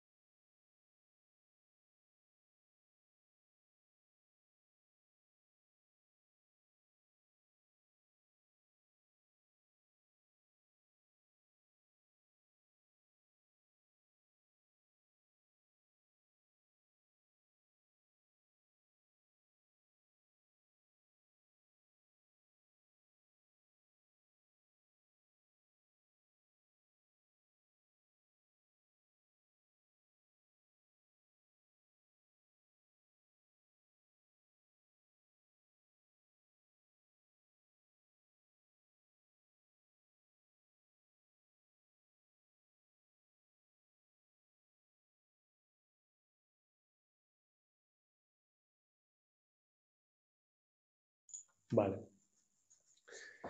Pues ya vais votando todos, bastante disperso todo, ¿eh? aunque luego si nos paramos a leer seguramente aparecen conceptos parecidos. ¿no? La oportunidad, la, propia agenda urbana, ¿no? por ahí, como oportunidad, la ubicación que ha salido varias veces también como fortaleza. ¿no? Ciudad neutra, neutra en carbono, ¿eh?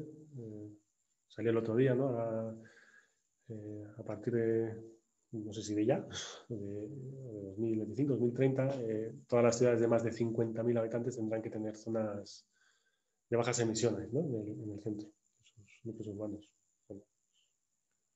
una, digamos, restricción, pero también eso es una oportunidad ¿no? para mejorar la calidad ambiental de, de nuestras ciudades. ¿no? Economía circular como oportunidad, proteger el entorno natural. Muy bien, pues ya quedamos bien de tiempo, si os parece vamos pasando ¿eh? Eh, al siguiente bloque. Y ahora sería repetir eh, la misma dinámica para contrastar el análisis DAFO que sobre el objetivo estratégico de modelo de ciudad hace la propia metodología de la agenda urbana. Y comenzamos otra vez con las debilidades. Debilidades en materia de modelo de ciudad, con dos partes también, que esto es un poquito más, más extenso.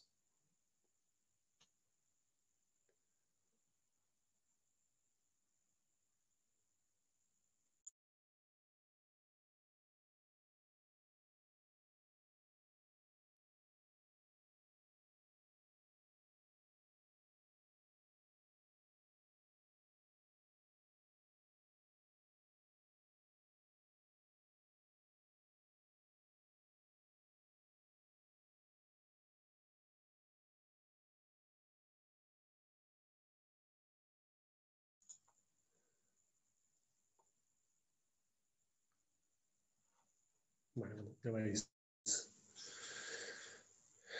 votando seis personas.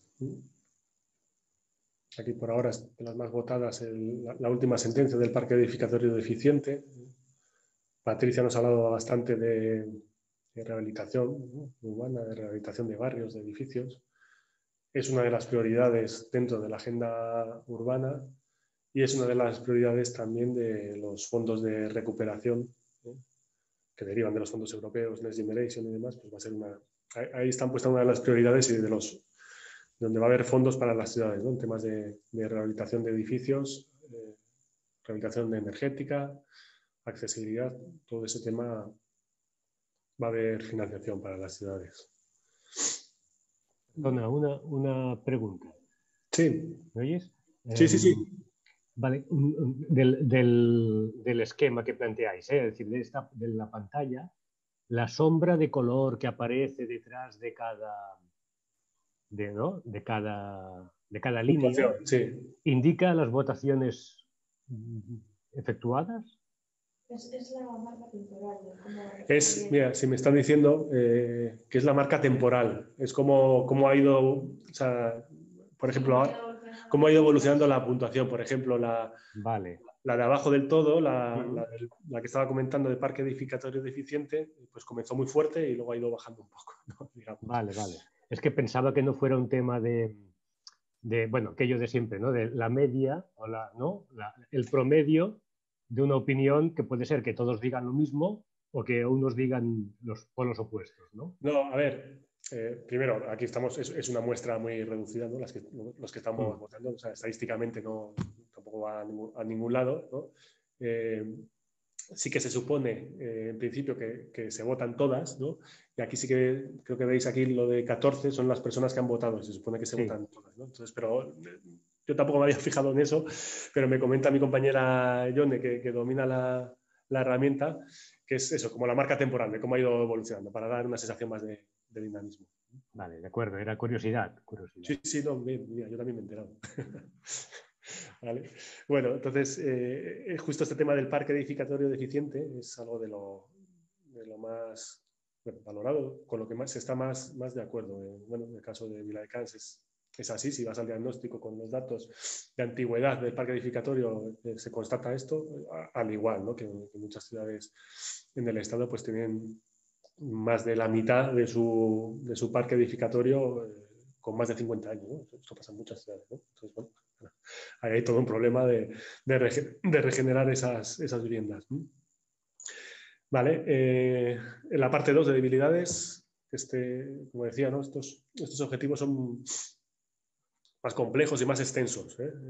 el 1 y el 2, de modelo de ciudad, modelo de ciudad. estás hablando sobre toda la ciudad. Entonces, hay más, más sentencias aquí que, votar. Y como veis van saliendo temas eh, pues que es posible que ya se hayan tratado en otros eh, webinars, los de la Agenda 2030 y, temas que salieron también en, en, los webinars de movilidad y de vivienda.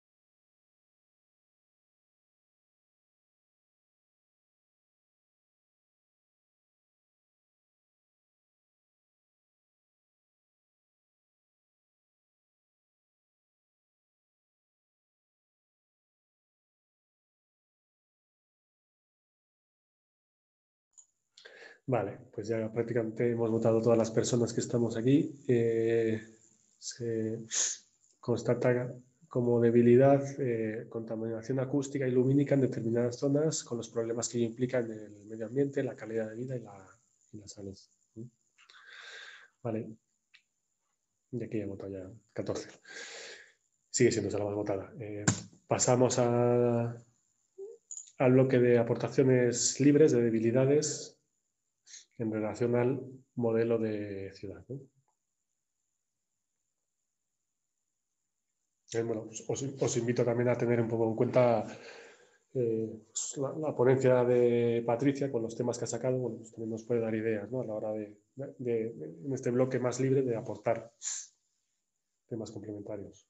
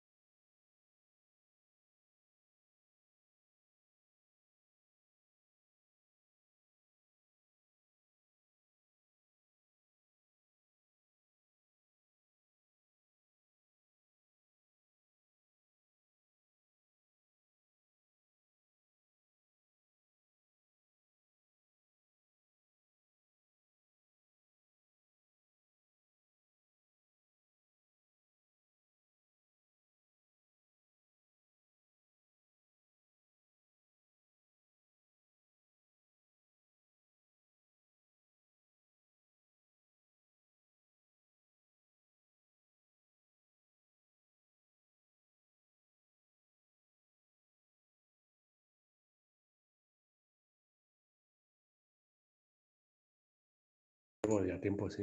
No.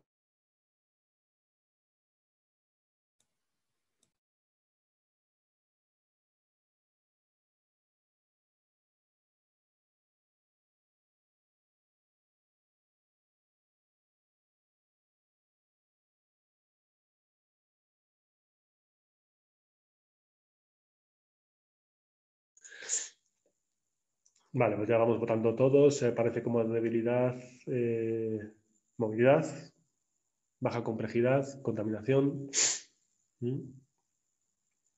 accesibilidad, rehabilitación, rehabilitación de edificios, presión metropolitana, bueno, por el entorno en el que estáis. ¿eh? Esto salió también el otro día en cuanto a la, precisamente en cuanto a la movilidad, ¿no? ¿Eh? El condicionante que supone estar en el, en el área metropolitana en la que, en la que está Mila de Canso. ¿Vale? Ya estáis casi todos, voy a ir pasando, eh, porque me gustaría dejar un, poco más de espacio al final para, para el debate. En, la última sesión sí que estuvimos debatiendo y hubo intervenciones interesantes. Entonces voy a ir pasando ya al siguiente bloque de, amenazas de Vila de Cans en materia de modelo de ciudad. Son solo estas, aquí no hay segunda parte. ¿Con cuáles estás totalmente en desacuerdo con cuáles estás totalmente de acuerdo?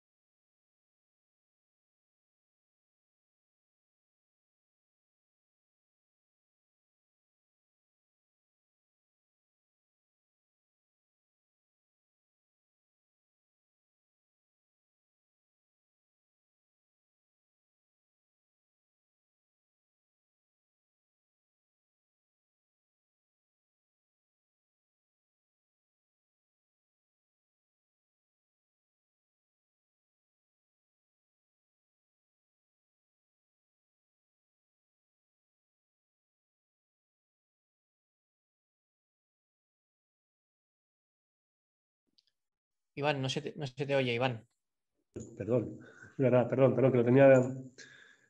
Sin más, estaba comentando. Eh, a ver, lo que me interesaba era que lo más votado aquí eh, es una sentencia que ya aparecía en, el anterior análisis DAFO del objetivo estratégico 1, aparecen temas que se, que se repiten ¿eh? por la propia metodología de la agenda urbana.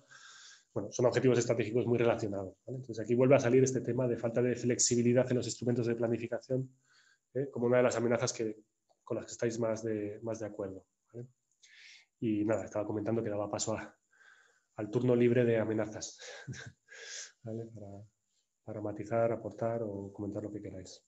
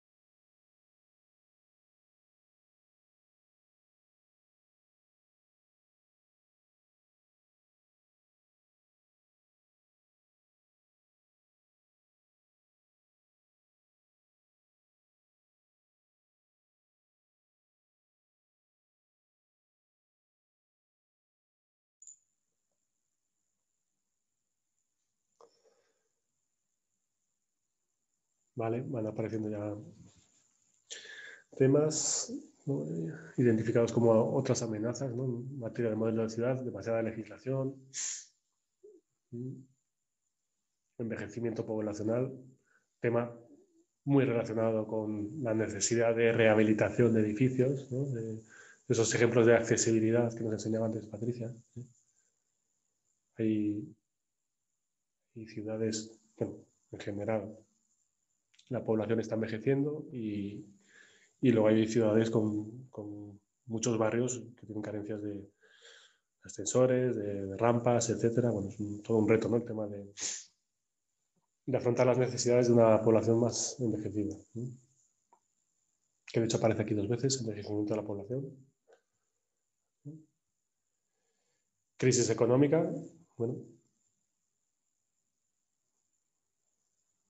arrastrando todavía, los efectos de, la crisis del 2008, pues nos hemos metido de lleno en, otra, sin haber salido casi de la, anterior. Planificación rígida parece, pues, relacionado también con demasiada legislación. Pérdida de comercio, ha salido el tema antes, hablando con Patricia. Accesibilidad, relacionado con lo que estaba comentando del envejecimiento de la población. Vale. Bueno, pues si os parece, vamos pasando a algunas personas. Y bueno, aunque lo hagan más tarde y no lo veamos, queda registrado luego su, aportación. ¿eh? Vamos a ir tirando un poco para adelante. Envejecimiento. El centro. Vamos a ir pasando a las fortalezas de Vila de Cans en materia de modelo de ciudad. Aquí hay dos partes también. ¿Con qué afirmaciones en cuanto a fortalezas de Vila de Cans en materia de modelo de ciudad estás más en desacuerdo o más de acuerdo?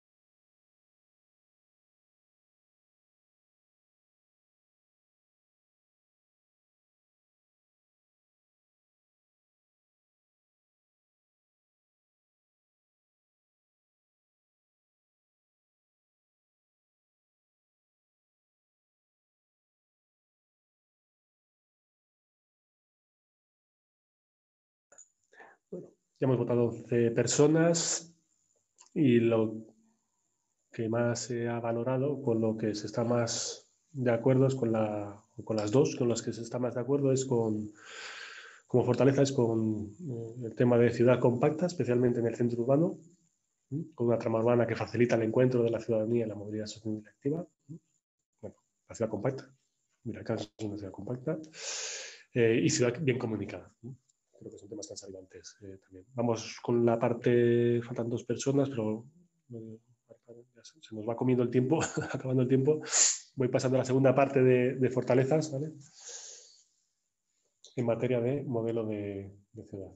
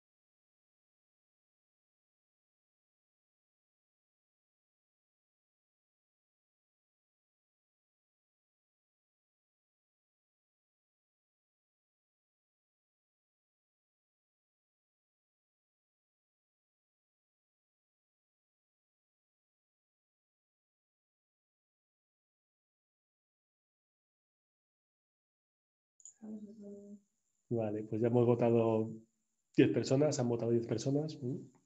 Por ahora lo más valorado, la fortaleza con la que se está más de acuerdo es la aceptación de la importancia de la participación de la sociedad civil, administraciones y sector privado para co-crear una ciudad más sostenible. el tema de la colaboración público-privada,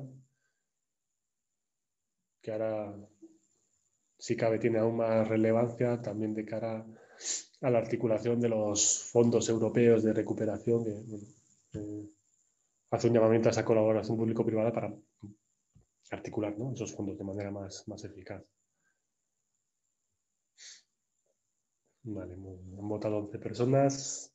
Eh, voy a correr un poquito ¿eh? para, para tener tiempo luego de preguntas, mini debate otras aportaciones. ¿De acuerdo?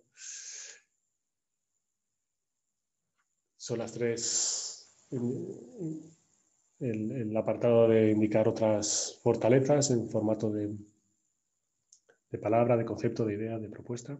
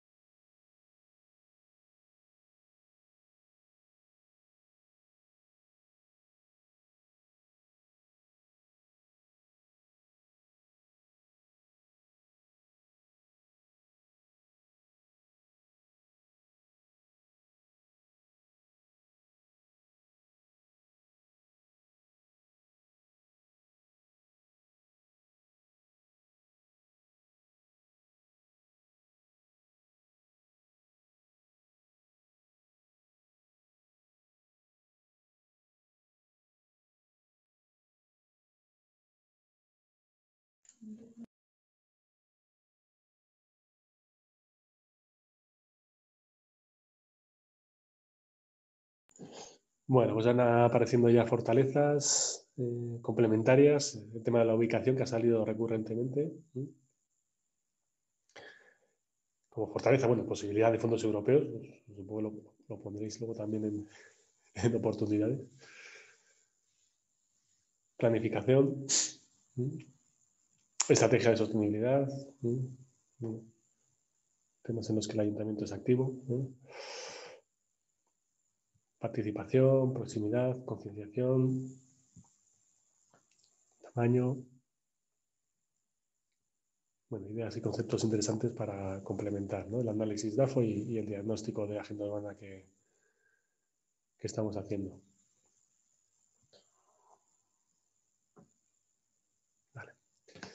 Pues os parece que vamos justitos y por, cumplir horarios, eh, faltan unas cuantas personas. Aquí han, aportado nueve personas, bueno, vamos a ir pasando. Luego recuperáis el camino. ¿eh? porque son dos partes aquí también de oportunidades de vida de Cans en materia de modelo de ciudad. Con cuáles estás en desacuerdo, con cuáles estás más de acuerdo.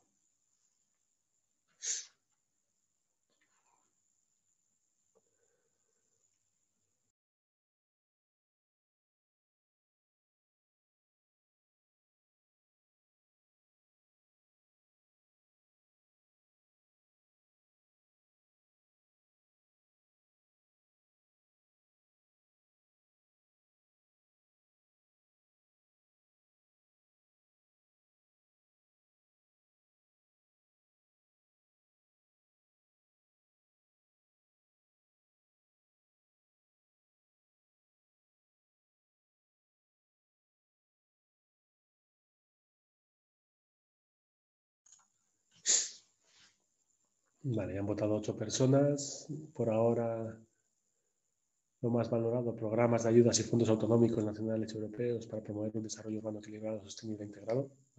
está claro que es una oportunidad y, que es lo que va a primar en, la, concesión de fondos. Que, las ciudades tengan sus estrategias de sostenibilidad bien definidas, eh, con el modelo 2030 o con el modelo de la agenda urbana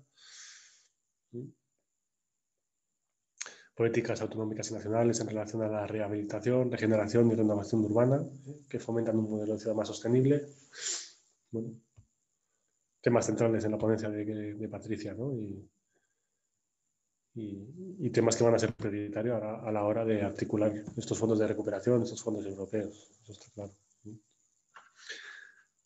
Bien, pasamos a la segunda parte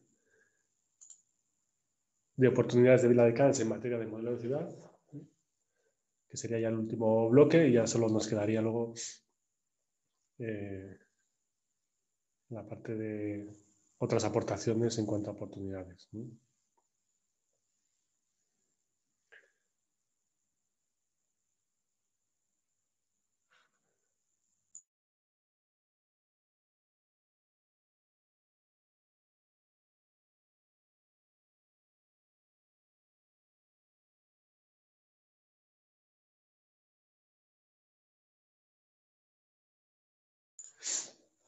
Bueno, la, metodología de, agenda urbana, como ya he repetido varias veces, está promovida por el Ministerio de Movilidad, Transporte y Agenda Urbana. ¿eh? Y bueno, pues aparecen también temas que promueve el propio ministerio, ¿no? como el, tema del destino turístico inteligente, el DTI.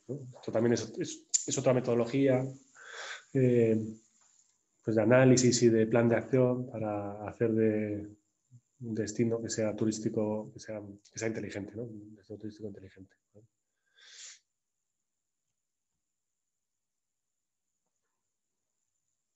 Entonces, bueno, sí, puede ser una oportunidad ¿no? para, para Vela de Cans. Es la segunda cuestión más valorada. La primera, difusión y potenciación de la cultura, deporte, gastronomía, patrimonio, fiestas tradicionales. ¿vale? Eh, aprovecho para decir justo estos temas, aunque aparecen aquí, cultura, deporte, gastronomía como parte de cultura, eh, y temas también, por ejemplo, de política lingüística, son justo esos temas, cultura, deporte, los que aparecen menos representados en la metodología de agenda urbana. Lo comento porque a veces en, diferentes ciudades nos han hecho esa observación.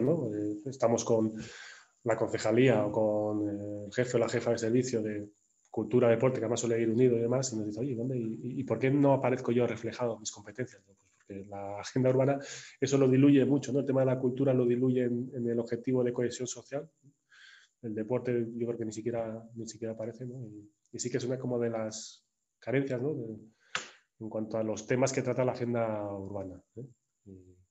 un tema a, trasladar al propio ministerio. ¿no? Y luego lo que sí que invitamos a las ciudades es que en estos temas, aunque no aparezca en la metodología, bueno, hay, que, hay que proponer proyectos, hay que decir cosas. ¿no? Parte muy importante de la, ciudad, de la identidad de la ciudad, la, la cultura. ¿no? Y luego el deporte, bueno, precisamente en ¿no? una ciudad con, con, mucho movimiento en ese sentido, ¿eh? con muchos, muchos, deportistas por ahí. Vale, eh, ya con las tres palabras clave eh, terminaríamos el, la dinámica, indicando las tres palabras clave en cuanto a oportunidades, tres aportaciones, conceptos y ideas. ¿vale? Un poquito justitos de tiempo, pero ahora cuando terminéis, pues si queréis volvemos a la, a la pantalla de vernos las caras y, abrimos un mini turno de preguntas o de algún comentario. Nos, iremos un poquito más allá de las 7, pero bueno, si, si tenéis unos minutos nos quedamos un poquito más, por nosotros sin problema. Y comentamos o preguntáis cualquier cosa sobre modelo de ciudad, sobre ordenación del territorio, sobre la metodología de la agenda urbana o sobre cualquier tema relacionado con la temática de hoy.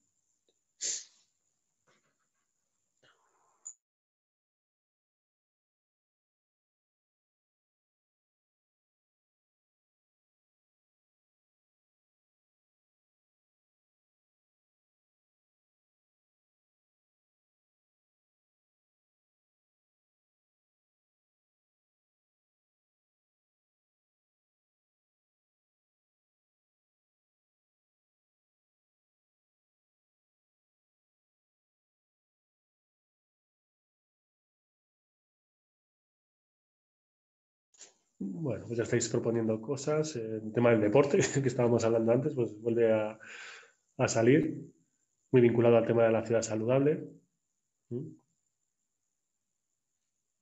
Deporte, ciudad saludable, son temas además que están eh, pues como en, auge. Ahora, en temas de planificación urbanística, eh, hay ciudades piloto que están haciendo parte de su planificación urbanística de ciudad. Eh, metiendo la variable salud en, el, centro. Se relaciona con temas de disminución de la contaminación, de recuperar el espacio público para eh, actividades físicas. Entonces, bueno, es una, variable muy, interesante, ¿no? El tema salud, que cada vez tiene más, más reflejo en lo que es la planificación urbana salud más pequeñito vuelve a salir ahí, bueno, como que enfatiza ese concepto. Otra vez hay salud. Sostenibilidad, repensar el modelo.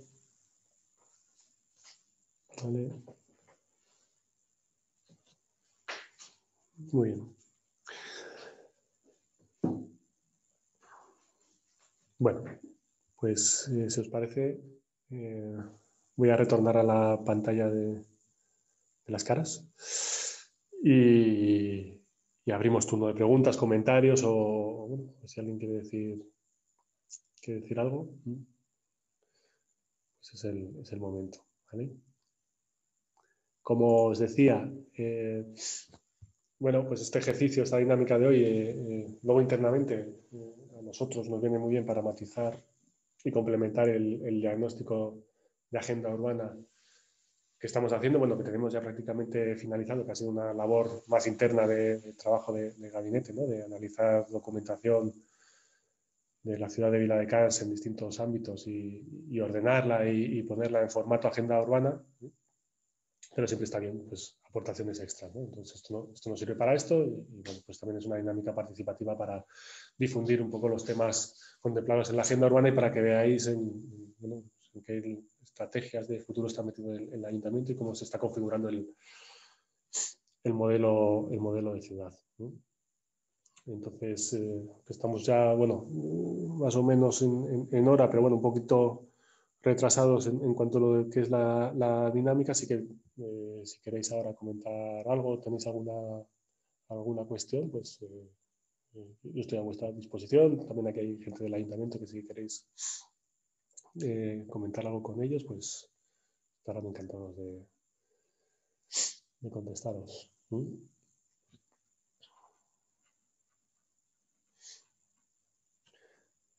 Richard, que rompes el hielo siempre.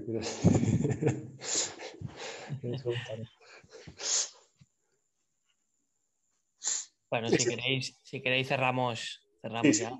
Y si no está, si no, Richard eh, eh, era el encargado luego, es el encargado de cerrar la, jornada. ¿eh? Y, yo ya os he comentado un poco los, los próximos pasos.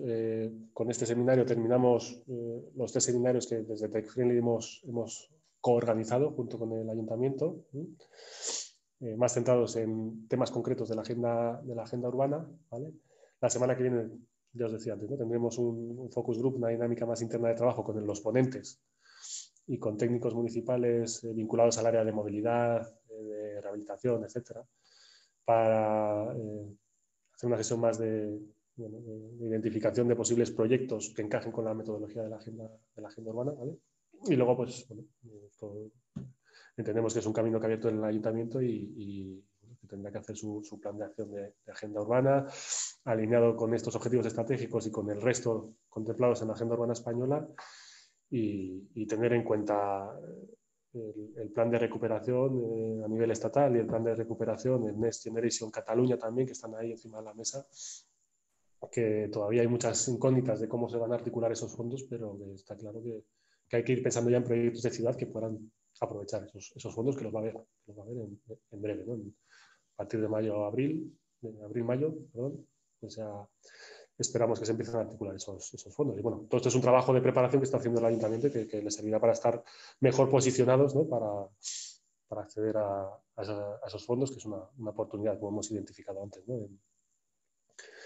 en, el análisis DAFO. ¿vale? Entonces, eh, pues eh, Richard, si quieres, eh, te doy paso. Sí, no, bueno, ya está. Simplemente agradecerte, Iván, eh, por la dinámica y, bueno, como decías, yo creo que este webinar englobaba un poquito todos los que hemos hecho, desde el primero hasta hoy. Y, yo creo que también nos, ha dado a entender un poquito en la, la, posición en la que estamos, ¿no? Yo creo que es, como decías ahora, Vila de Cans, eh, por todo el trabajo que llevamos haciendo, pues estamos, por suerte, bien posicionados y todas estas ayudas que van a venir ahora, que van a ser muchísimas y que eh, una de las, de las principales cosas que vamos a tener es eh, de trabajo, va a ser gestionar todas esas ayudas. Yo creo que Vila de Cans pues, está muy bien posicionada ¿no? por todo lo que se ha hecho hasta ahora.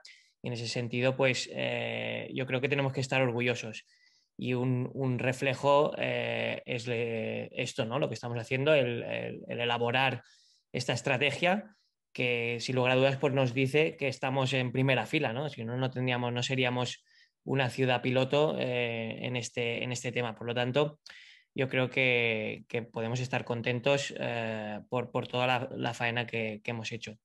Y nada, y, sobre, sobre cerrar el, webinar de hoy, pues bueno, agradecer a los que las personas que han venido, los que se han desconectado ya. A Patricia ya le hemos agradecido su, gran, su gran charla, a Karma también por su, por su ponencia eh, y por exponer pues un poquito, poner eh, eh, a Vila de Cans, ¿no? los retos que tiene Vila de Cans. Y nada, y pues esperemos que los que habéis participado pues sigáis en este proceso porque una de las cosas que tiene este, este proyecto es la participación. Y, a pesar de, como, como, he dicho en otras ocasiones, a pesar de que cuesta, pues creo que el ayuntamiento está haciendo un gran esfuerzo para, que esta participación sea pues de calidad, ¿no? Y lo estamos viendo e, en estos webinars. Otra cosa es, lógicamente, pues que, la participación pues siempre cuesta pues, por, pues, por muchos motivos, ¿no? Por, porque la gente pues tenemos muchas cosas, el día a día es muy complicado, pero aún así yo creo que cuando ha habido y, cuando eh, se ha hecho esta participación, pues ha sido una participación muy buena. Y yo creo que eh, han habido muchos foros eh, para poder hacer y seguirán habiendo y, de ahí pues el invitar a, la gente a que siga la evolución de todo esto, ¿no? Sin más. Ya está, agradeceros y, nada, muchas, muchas gracias a todos y a todas. muy bien, muchas gracias. un último, una última cosa, Montaña Robles, eh, que habías, no, es que habías quitado el, micrófono, no sé si era porque querías decir algo. Hemos visto que habías... Eh, sí, bueno, eh, simplemente era, un, era una, una, reflexión, que vivimos en una ciudad de muchos, muchos, muchos años, seguimos pensando en cómo ha de ser esta ciudad y dentro de unos cuantos años seguiremos pensando cómo ha de ser la ciudad futura. Es decir, es, es, constante, es constante. Y seguramente las conclusiones que sacamos estos días para la agenda local de, los próximos años, dentro de unos años ya no nos servirán. Y tendremos que repensar de nuevo esta situación. O sea que espero veros dentro de 10 o 15 años otra vez por aquí. Yo también espero verte en 10 años. Grande. Per sort, no, no serviran aquestes receptes perquè voldrà dir que hem evolucionat. Sí. No? Sí, sí. Muy bien, pues bueno. Muy bien. Bueno, pues lo, lo, dicho, muchas gracias a todos por, la, por vuestra participación, por vuestra implicación. ¿eh? Gracias al, gracias al, al Ayuntamiento de Alex y a Enrique, que es con los que más estoy en contacto por la coorganización de, de, de este webinar y de los precedentes. Y, y nada, pues, espero veros a todos en breve, antes de 10 años. Sí, sí. Seguro, seguro. Gracias. Gracias a todos. Hasta pronto. Gràcies. Adéu, Gràcies a adéu. tots. Adéu. Hasta luego.